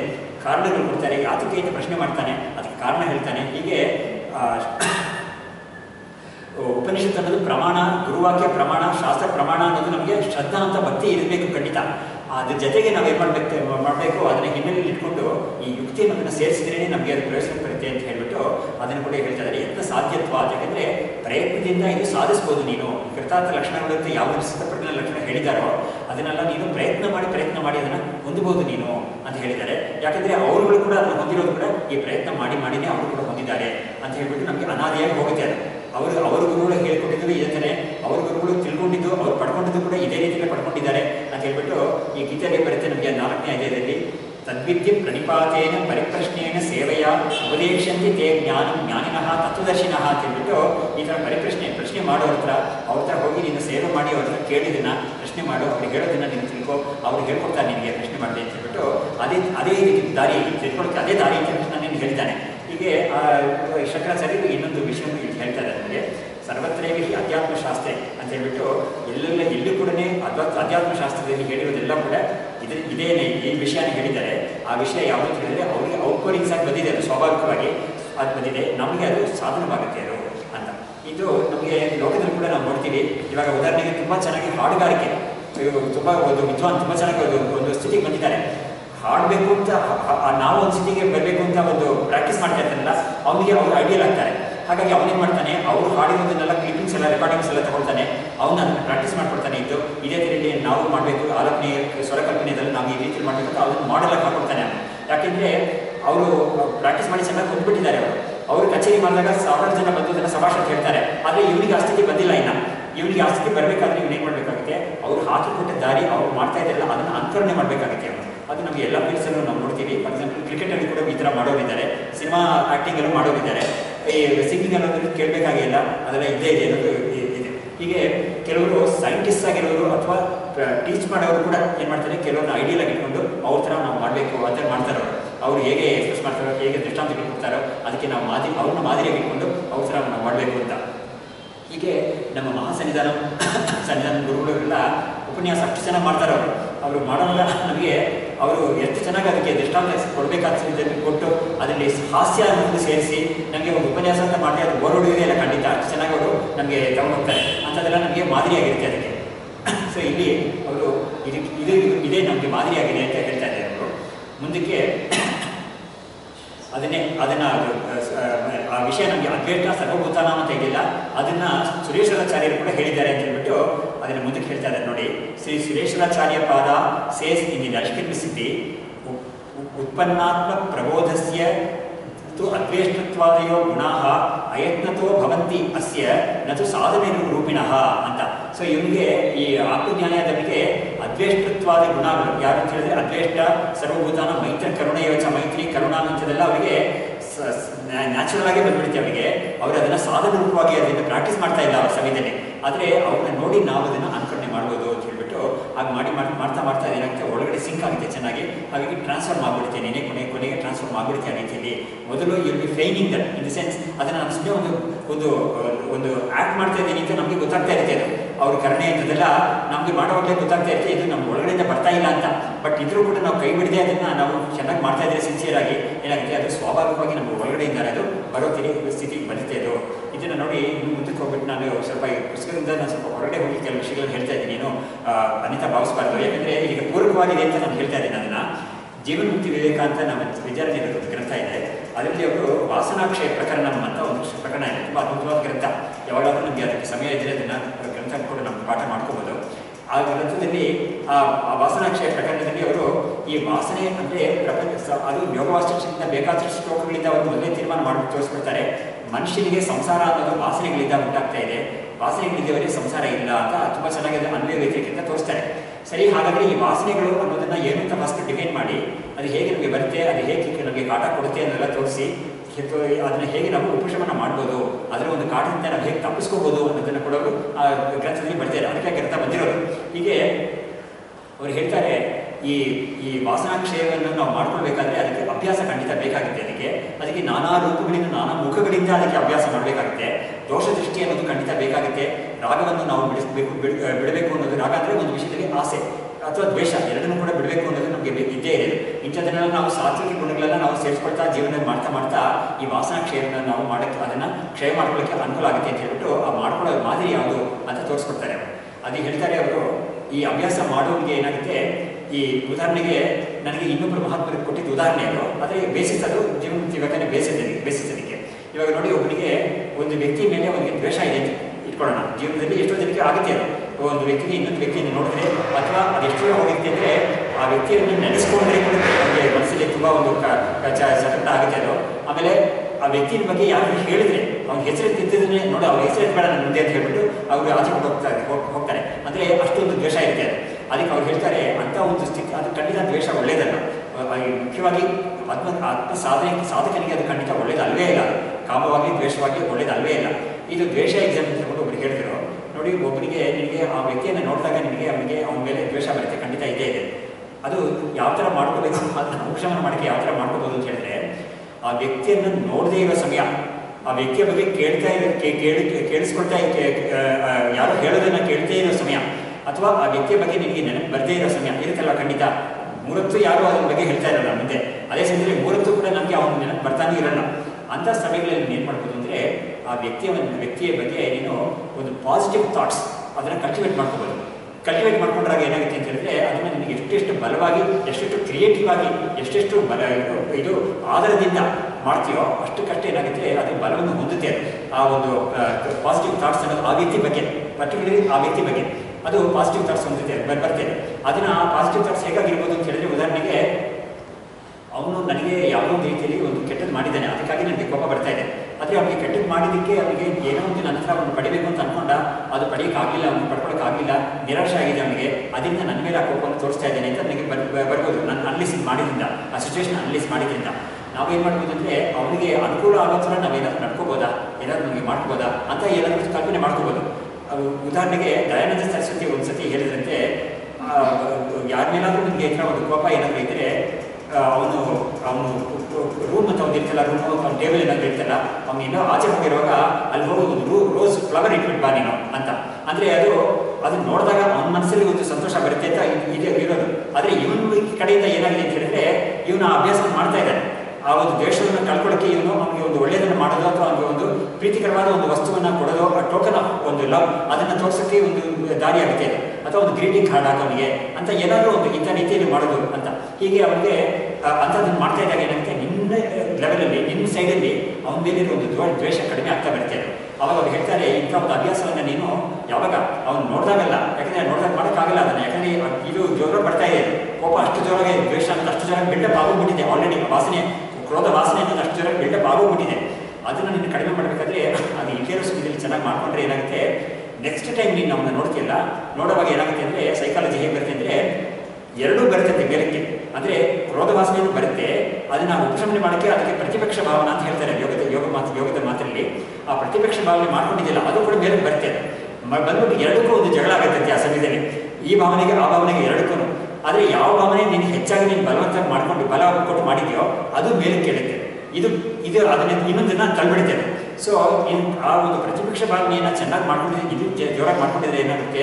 ಈ ಸ್ವಾಭಾವಿಕ ಭಾವನೆಯನ್ನು ಅದು ತಳ್ಳುತ್ತೆ ಅದುಗುತ್ತೆ ಮೆಟ್ಟಿ ನಿಲ್ಲುತ್ತೆ. ಅವಾಗ ನಿಮಗೆ ಈ ಒಂದು ದ್ವೇಷ ಅನ್ನೋದು ಕಡಿಮೆ ಆಗುತ್ತೆ ಆ ಅಕಸ್ಮಾತ್ ನೀನು ಇದನ್ನ ಚೆನ್ನಾಗಿ ಮಾಡ್ಕೊಳ್ದೆ ಹೋಗಿದ್ರೆ ಏನಾಗುತ್ತೆ ಅಂದರೆ ಇದು ಬಿದ್ದೋಗ್ಬಿಡುತ್ತೆ, ಇದು ವೀಕ್ ಆಗೋಗಿದೆ ಯಾಕೆಂದ್ರೆ ಚೆನ್ನಾಗಿ ಮಾಡ್ಕೊಳ್ಳಿಲ್ಲ ಇನ್ನು? ಪ್ರತಿಪಕ್ಷ ಭಾವನೆಯನ್ನು ತುಂಬ ಬಲವಾಗಿ ಮಾಡ್ಕೊಳ್ಳಿಲ್ಲ ಹಾಗಾಗಿ ಇದು ವೀಕ್ ಆಗಿದೆ. ಆದರೂ ಒಂದು ಹೊಡೆತ ತಡೀಲಿಲ್ಲ ಇದು. ಇವು ಬಿದ್ದೋಗುತ್ತೆ ಇದು. ಅವಾಗ ಏನಾಗುತ್ತೆ? ಮತ್ತೆ ಅಭ್ಯಾಸ ಇದ್ದೇ ಇರುತ್ತೆ ಅಂತ ಆಗುತ್ತೆ ಸೊ ಇದನ್ನು ಅವರು ಪ್ರಾಕ್ಟಿಕಲ್ ಆಗಿ ಮಾಡೋಕ್ಕೆ ಸಾಧ್ಯ ಅಂತ ಅವರು ತೋರಿಸ್ಕೊಡ್ತಾರೆ. ವಿದ್ಯಾರಣ್ಯರು ಕೂಡ ಇದೇ ಯುಕ್ತಿಗಳನ್ನ ಅಲ್ಲಿ ಬೇಕಾದಷ್ಟು ತೋರಿಸಿದ್ದಾರೆ. ಯುಕ್ತಿಗಳೆಲ್ಲ ನಮಗೆ ಬೇರೆ ಎಲ್ಲೋ ಅವ್ರು ಇನ್ವೆಂಟ್ ಮಾಡಿಲ್ಲ ಖಂಡಿತ. ತುಂಬಾ ಚೆನ್ನಾಗಿ ಸಂಸ್ಕಾರವಾಗಿ ಹೇಳಿದ್ದಾರೆ. ಆದರೆ ಇದಕ್ಕೆಲ್ಲ ಬೇಸಿಸ್ ನಮಗೆ ಯೋಗ ಸೂತ್ರದಲ್ಲೇ ಇದೆ ಅದು. ಹಾಗಾಗಿ ವಿತರ್ಕ ಬಾಧನೆ ಪ್ರತಿಪಕ್ಷ ಭಾವನ ಅಂತ ಅಲ್ಲಿ ಯೋಗ ಸೂತ್ರ ಇದೆ. ಅದಕ್ಕೆ ಯೋಗಸೂತ್ರ ಯೋಗ ಸೂತ್ರ ಇದೆ ಇದಕ್ಕೆ. ಹಾಗಾಗಿ ಅದೇ ಬೇಸಿಸ್ ಅದಕ್ಕೆ. ಹಾಗಾಗಿ ವಿತರ್ಕ ಬಾಧನೆ ಅಂತ ಹೇಳಿದ್ರೆ ವಿತರ್ಕ ಅಂದ್ರೆ ನಮಗೆ ಬೇಡದೇ ಇರೋದು, ನಮಗೆ ತೊಂದರೆ ಕೊಡ್ತಾ ಇರೋದು. ಅದು ನಮಗೆ ಬಾಧಿಸ್ತಾ ಇದೆ. ಅವಾಗ ಏನು ಮಾಡಬೇಕು ಅಂದರೆ ಪ್ರತಿಪಕ್ಷ ಭಾವನೆಯನ್ನು ಇವ್ರು ಉಂಟು ಮಾಡ್ಕೋಬೇಕು. ಆ ಉಂಟು ಮಾಡ್ಕೊಳ್ಳೋದ್ರಲ್ಲಿ ನಮಗೆ ಕ್ರಿಯೇಟಿವಿಟಿ ಇವಾಗ ಹೇಗೆ ಒಂದು ಸಂಗೀತಗಾರನಿಗೆ ಸಂಗೀತಗಾರನಿಗೆ ತುಂಬ ಕ್ರಿಯೇಟಿವಿಟಿ ಬೇಕೇ ಬೇಕು. ಉಳಿಸ್ ಬೆಳ ಅದನ್ನ ಮಾಡ್ತಾನೆ ಸುಮ್ಮನೆ ಅವನು ಯಾರೋ ಒಬ್ಬರು ವಿದ್ವಾಂಸನ ಕಾಪಿ ಮಾಡ್ತಾನೆ ಅಂತ ಹೇಳಿ ಹೇಳ್ಬಾರ್ದು. ಮಾದರಿಯಾಗಿ ಇಟ್ಕೊಳ್ತಾನೆ ಆದರೆ ಇನ್ನು ಅದಕ್ಕೆ ತುಂಬ ಚೆನ್ನಾಗಿ ಕ್ರಿಯೇಟಿವ್ ಆಗಿ ಮಾಡ್ತಾನೆ. ಅದೇ ಥರ ಇಲ್ಲೂ ಕೂಡ ಇವರು ಗ್ರಂಥಗಳಲ್ಲಿ ಕೊಟ್ಟಿರೋ ಮಾದರಿಯಾಗಿ ಇಟ್ಕೊಂಡು ಕ್ರಿಯೇಟಿವ್ ಆಗಿ ನಾವು ಕೂಡ ಬೇಕಾದಷ್ಟು ರೀತಿಯಲ್ಲಿ ಇದನ್ನು ಮಾಡ್ಕೊಳ್ಳೋಕೆ ಸಾಧ್ಯವಾಗುತ್ತೆ ಅಂತ ಹೇಳಿದ್ರು. ಈ ಅದ್ವೇಷ್ಟವಾದಿ ಗುಣಗಳೆಲ್ಲ ಅವಾಗ ಏನಾಗುತ್ತೆ? ಅದು ಆ ಥರ ಒಂದು ಅಭ್ಯಾಸದಿಂದ ಈ ಕ್ರೋಧ ಅನ್ನೋದು ಹೋಗಿ ಪ್ರೇಮ ಭಾವ ಮೇಲೆ ಬರುತ್ತೆ. ಅದಕ್ಕೆ ಕ್ರೋಧ ಭಾವ ಹೋಗಿ ಪ್ರೇಮ ಭಾವವನ್ನು ಇವನು ಉತ್ಪಾದನೆ ಮಾಡ್ಕೋಬೇಕು ಒಳಗಡೆಯಿಂದ. ಅದೇನಾಗುತ್ತೆ, ಹೋಗ್ತಾ ಹೋಗ್ತಾ ಅದನ್ನು ಚೆನ್ನಾಗಿ ಅಭ್ಯಾಸ ಮಾಡ್ತಾ ಬಂದರೆ ಏನಾಗುತ್ತೆ ಸ್ವಾಭಾವಿಕವಾಗಿಯೇ ಇವನಿಗೆ ಪ್ರೇಮ ಭಾವ ಅವನಿಗೆ ಬಂದ್ಬಿಡುತ್ತೆ ಅದು. ಅವನು ಏನು ಪ್ರಯತ್ನ ಮಾಡದೇನೆ ಬಂದ್ಬಿಡುತ್ತೆ ಅದು, ಅಷ್ಟು ಚೆನ್ನಾಗಿ ಆಗ್ಬೇಕದು. ಅದು ಏನಿದೆ, ಅದು ಇವನ ಅಭ್ಯಾಸ. ಇವನು ಮಾಡ್ಬೇಕಾದ್ರೆ ಹೋಮ್ವರ್ಕ್ ಅದೇನೆ. ಹಾಗಾಗಿ ಇವನು ಅದನ್ನು ತುಂಬ ಚೆನ್ನಾಗಿ ಮಾಡ್ಕೊಂಡ ಅಂತ ಹೇಳಿದ್ರೆ, ಅವನಿಗೆ ಅದು ಆ ಭಾವ ಯಾವುದು ಬೇಡವೋ ಆ ಭಾವ ಹೋಗಿ, ಯಾವ್ದು ಬೇಕೋ ಅದು ಮಾತ್ರ ಚೆನ್ನಾಗಿ ಸ್ವಾಭಾವಿಕವಾಗಿ ಬಂದ್ಬಿಡುತ್ತೆ ಅದು. ಯಾಕಂದ್ರೆ ಮುಂಚೆ ನೋಡಿ, ಮುಂಚೆ ಏನಾಗ್ತಾ ಇತ್ತು, ಅದು ಸ್ವಾಭಾವಿಕವಾಗಿ ಬರ್ತಾ ಇತ್ತು. ಇವಾಗ ಇದನ್ನು ಸ್ವಾಭಾವಿಕ ಮಾಡ್ಕೊಳ್ತಾ ಇದೆ. ಅಂದ್ರೆ ಏನಾಗುತ್ತೆ ಅಂದ್ರೆ ಅದು ಯಾತಕ್ಕೆ ನಮಗೆ ಸ್ವಭಾವ ಆಯ್ತು ಅಂತ ಹೇಳಿದ್ರೆ, ನಾವು ಅವಿವೇಕದಿಂದ ಅದನ್ನ ಸ್ವಭಾವವಾಗಿ ಮಾಡೋದಕ್ಕೆ ನಾವು ದಾರಿ ಕೊಟ್ಬಿಟ್ಟಿದ್ದೀವಿ. ಅದರಿಂದ ಅದು ನಮ್ಮ ಸ್ವಭಾವವಾಗಿ ಆಗೋಗ್ಬಿಟ್ಟಿದೆ ಅದು. ಹುಟ್ಟು ಗುಣ ಸುಟ್ಟು ಹೋಗಲ್ಲ ಅಂತ ಒಂದು ಹೇಳ್ತಾರೆ ಅವ್ರ ಮಾತಿದೆಯಲ್ಲ ಅದು ಆ ಹುಟ್ಟು ಗುಣ ಯಾವ್ದು ಅಂತ ಹೇಳಿದ್ರೆ ಹಿಂದಿನ ಜನ್ಮಗಳಿಂದ ಬೇಕಾದಷ್ಟು ಹುಡುಗರು ಸೇರಿಸ್ಕೊಂಡು ಬಂದಿದ್ದಾನೆ ಅಂತ ಅದು ನಮ್ಮ ಇದೆಲ್ಲದಕ್ಕೂ ಕೂಡ ನಮಗೆ ಎಲ್ಲ ಯುಕ್- ಯುಕ್ತಿ, ಯುಕ್ತಿಗೆ ಬರೋ ವಿಷಯಗಳಿದೆಲ್ಲ ಅದನ್ನೆಲ್ಲ ಚೆನ್ನಾಗಿ ತಿಳ್ಕೊಂಡಿರೋರು ಹೇಳಿದ್ದಾರೆ. ನಮ್ಮ ಚಂದ್ರಶೇಖರ್ ಭಾರತಿಗಳು ಒಂದು ಒಬ್ಬರ ಹತ್ರ ಮಾತಾಡುವಾಗ ಹೇಳಿದ ಒಂದು ಉಪದೇಶವನ್ನು ಅವರು ಅವರ್ ಡ್ಯೂಟಿ ಅಂತ ಒಂದು ಪುಸ್ತಕವಾಗಿ ಬರೆದಿದ್ದಾರೆ. ಅದನ್ನು ಕನ್ನಡಕ್ಕೆ ಕೂಡ ಯಾರೋ ಒಬ್ಬರು ಸಕ್ಕರೆ ಯಾರಾದ್ರು ಹಾಕಿದ್ದಾರೆ ಅಂತ ನಾನು ಕೇಳಿದೆ. ಅವರ್ ಡ್ಯೂಟಿ ತುಂಬ ಚೆನ್ನಾಗಿ ಪುಸ್ತಕ, ಸಣ್ಣ ಪುಸ್ತಕ ಅದಕ್ಕೆ ಅವ್ರು ಹೇಳ್ತಾರೆ ಗುರುಗಳು ಒಂದು ಉದಾಹರಣೆ ಕೊಟ್ಟು ಹೇಳ್ತಾರೆ. ನೋಡು, ನೀನು ಒಂದು ಕಡೆ ಒಂದು ಕಂಬಕ್ಕೆ, ಒಂದು ಮರದ ಕಂಬಕ್ಕೆ ಯಾವುದಕ್ಕೂ ಒಂದು ಕಡೆ ಒಂದು ಮೊಳೆ ಹೊಡೆದಿದ್ಯಾ ಆ ಮೊಳೆಯನ್ನು ನೀನು ಆಚೆ ತೆಗಿಬೇಕಾದ್ರೆ ನೀನು ಆ ಮೊಳೆ ಹೊಡೆಯೋಕ್ಕೆ ಎಷ್ಟು ಕಷ್ಟ, ಎಷ್ಟು ಒಂದು ಫೋರ್ಸ್ ಹಾಕಿದ್ಯೋ ಅಷ್ಟು ಫೋರ್ಸ್ ನೀನು ಇದಕ್ಕೆ ಆಚೆ ತೆಗಿಯೋಕ್ಕೂ ಹಾಕಬೇಕು ನೀನು. ಹಾಗಾಗಿ ನಾವು ಹಿಂದೆ ಅದಕ್ಕೆ ಫೇಟ್ ಅಂಡ್ ಫ್ರೀ ಅಂತ ಒಂದು ಟಾಪಿಕ್ ಇದೆ ಅದರಲ್ಲಿ. ಅವಾಗ ಫೇಟ್ ಅಂಡ್ ಫೀವಿಲ್ ಅಂತ ಹೇಳಿದ್ರೆ ಏನಂದ್ರೆ ಫೇಟ್ ಅಂದ್ರೆ ಯಾವುದು ಅಂತ ಹೇಳಿದ್ರೆ ನಮಗೆ ವಿಧಿ ಅಂತ ಒಂದು ಹೇಳ್ತೀವಲ್ಲ ಅದು. ಫ್ರೀವಿಲ್ ಅಂತ ಹೇಳಿದ್ರೆ ನಮಗೆ ಒಂದು ಸ್ವಾತಂತ್ರ್ಯ ಇದೆ ನಮಗೆ ಅದನ್ನ ಮಾಡಕ್ಕೆ. ಪುರುಷ ಪುರುಷ ಪ್ರಯತ್ನ ಅಂತ ಹೇಳ್ತೀವಿ ನಾವು ಹೀಗಾಗಿ ಒಂದು ಒಂದು ಮ್, ಪ್ರಾರಬ್ಧ ಮತ್ತು ಪುರುಷ ಪ್ರಯತ್ನ ಅನ್ನೋದು ಸಂಸ್ಕೃತದಲ್ಲಿ ಟೆಕ್ನಿಕಲ್ ಟರ್ಮ್ಸ್ ಇದಕ್ಕೆ ಫೇಟ್ ಅಂಡ್ ಫ್ರೀವಿಲ್ ಅನ್ನೋದಕ್ಕೆ. ಅವ್ರು ಹೇಳ್ತಾರೆ ನಿಮಗೆ ಫೇಟ್ ಅಥವಾ ವಿಧಿ ಅಂತ ನೀನು ಇವಾಗ ಯಾವುದು ಹೇಳ್ತಾ ಇದೆಯೋ ಅದೇನು ಅಂತ ಹೇಳಿದ್ರೆ ಹಿಂದೆ ನೀನು ಫ್ರೀ ವಿಲ್ ಯೂಸ್ ಮಾಡದೇ ಬಿಟ್ಬಿಟ್ಟಿದ್ಯಾ ಅದೇ ನಿಮಗೆ ಇವಾಗ ಫ್ರೀ ವಿಲ್ ಫೇಟ್ ಆಗಿ ಕೂತಿದೆ ಅದು. ಹಿಂದೆ ನಿಮಗೆ ಫ್ರೀ ವಿಲ್ನ ರಾಂಗ್ ಆಗಿ ಯೂಸ್ ಮಾಡಿದ್ರು ಕೂಡ ಅದು ಇವಾಗ ಫೇಟ್ ಆಗಿ ಅದು. ಹಾಗಾಗಿ ಫ್ರೀ ವಿಲ್ ಅನ್ನೋದನ್ನ ನನಗೆ ಒಂದು ಸಾಮರ್ಥ್ಯ ಇದೆ ನಿನಗೆ. ಇದನ್ನು ನೀನು ಈ ಬೇರೆ ರೀತಿಯಲ್ಲಿ ಮಾಡೋಕ್ಕೆ ನಿನಗೆ ಒಂದು ಸಾಮರ್ಥ್ಯ ಇದೆ. ಆ ಸಾಮರ್ಥ್ಯವನ್ನು ನೀನು ಬಳಸ್ಕೊಂಡ್ರೆ ಏನಾದರೆ ಏನಾಗುತ್ತೆ? ನಿಮಗೆ ಅದು ಅನುಕೂಲ ಆಗುತ್ತೆ ನಿಮಗೆ ಹಾಗಾಗಿ ಅದು ಸರಿಯಾಗಿ ಬಳಸ್ಕೊಳ್ದೆ ಹೋದರೆ ಅಥವಾ ಅದನ್ನು ತಪ್ಪಾಗಿ ಬಳಸಿದರೆ ಏನಾಗುತ್ತೆ? ಅದು ನಿಮಗೆ ಫೇಟ್ ಆಗಿ ಕೂತ್ಬಿಡುತ್ತೆ ಅದು ಅಂತ. ಈ ಫೇಟ್ ಅನ್ನೋದು ಪಾಸಿಟಿವ್ ನೆಗೆಟಿವ್ ಎರಡೂ ಆಗ್ಬೋದು. ಸಾಮಾನ್ಯವಾಗಿ ಫೇಟ್ ಅಂತ ಹೇಳಿದ್ರೆ ನಾವು ನೆಗೆಟಿವ್ ಅಂತಲೇ ಹೇಳ್ತೀವಿ ನಾವು. ದಿಸ್ ಇಸ್ ಮೈ ಫೇಟ್ ಅಂತ ಹೇಳ್ತೀವಿ. ಬಟ್ ಶಾಸ್ತ್ರದಲ್ಲಿ ಆ ಥರ ಇಲ್ಲ. ಪ್ರಾರಬ್ಧ ಅನ್ನೋದಕ್ಕೆ ಅನುಕೂಲವಾದಕ್ಕೂ ಪ್ರಾರಬ್ಧ ಅನ್ನೋದು, ಪ್ರತಿಕೂಲವಾದಕ್ಕೂ ಪ್ರಾರಬ್ಧ ಅನ್ನೋದು ಹೆಸರು ಅದಕ್ಕೆ. ಹಾಗಾಗಿ ಅದನ್ನೇನು ಹೇಳ್ತಾರೆ ಅಂತ ಹೇಳಿದ್ರೆ ಒಬ್ಬರಿಗೆ ಒಂದು ಜೀವನದಲ್ಲಿ ಒಳ್ಳೆಯ ಒಂದು ಭೋಗಗಳೆಲ್ಲ ಅನು ಅನುಭವಿಸ್ಬೇಕಂತ ಇದ್ರೆ ಒಳ್ಳೆ ಪ್ರಾರಬ್ಧ ಅಂತ ಹೇಳ್ತಾರೆ.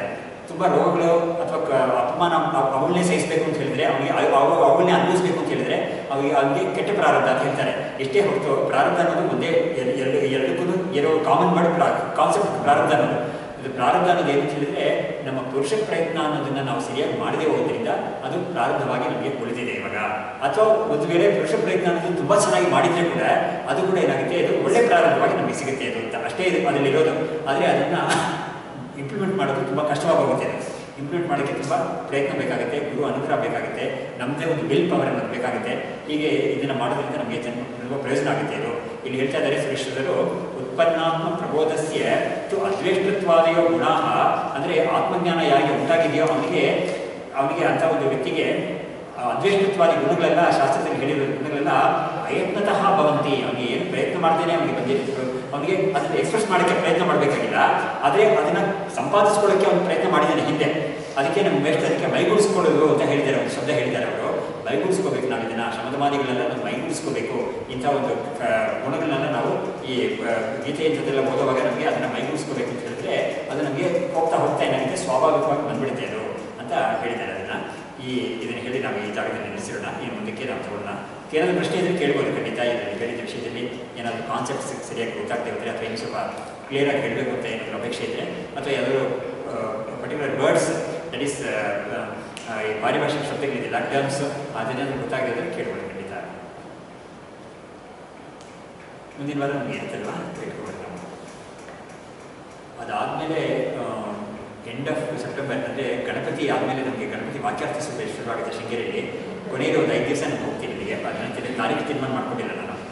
ಆವಾಗ ಆ ಸಮಯದಲ್ಲಿ ಗುರುವಾರ ಬುಧವಾರ ಬಂದರೆ ಯಾವತ್ತಿರಲ್ಲ ಅಷ್ಟೇ ಹೊತ್ತು ಅದರ್ವೈಸ್ ನಾನು ಇರ್ತೀನಿ. ಇರೋ ಸಮಯದಲ್ಲಿ ಮಾಡ್ಕೊಂಡಿದ್ದೀನಿ ಓಂ ಶ್ರುತಿಸ್ಮೃತಿ ಪುರಾಣಾನಾಂ ಆಲಯಂ ಕರುಣಾಲಯಂ ನಮಾಮಿ ಭಗವತ್ಪಾದಂ ಶಂಕರಂ ಲೋಕಶಂಕರಂ.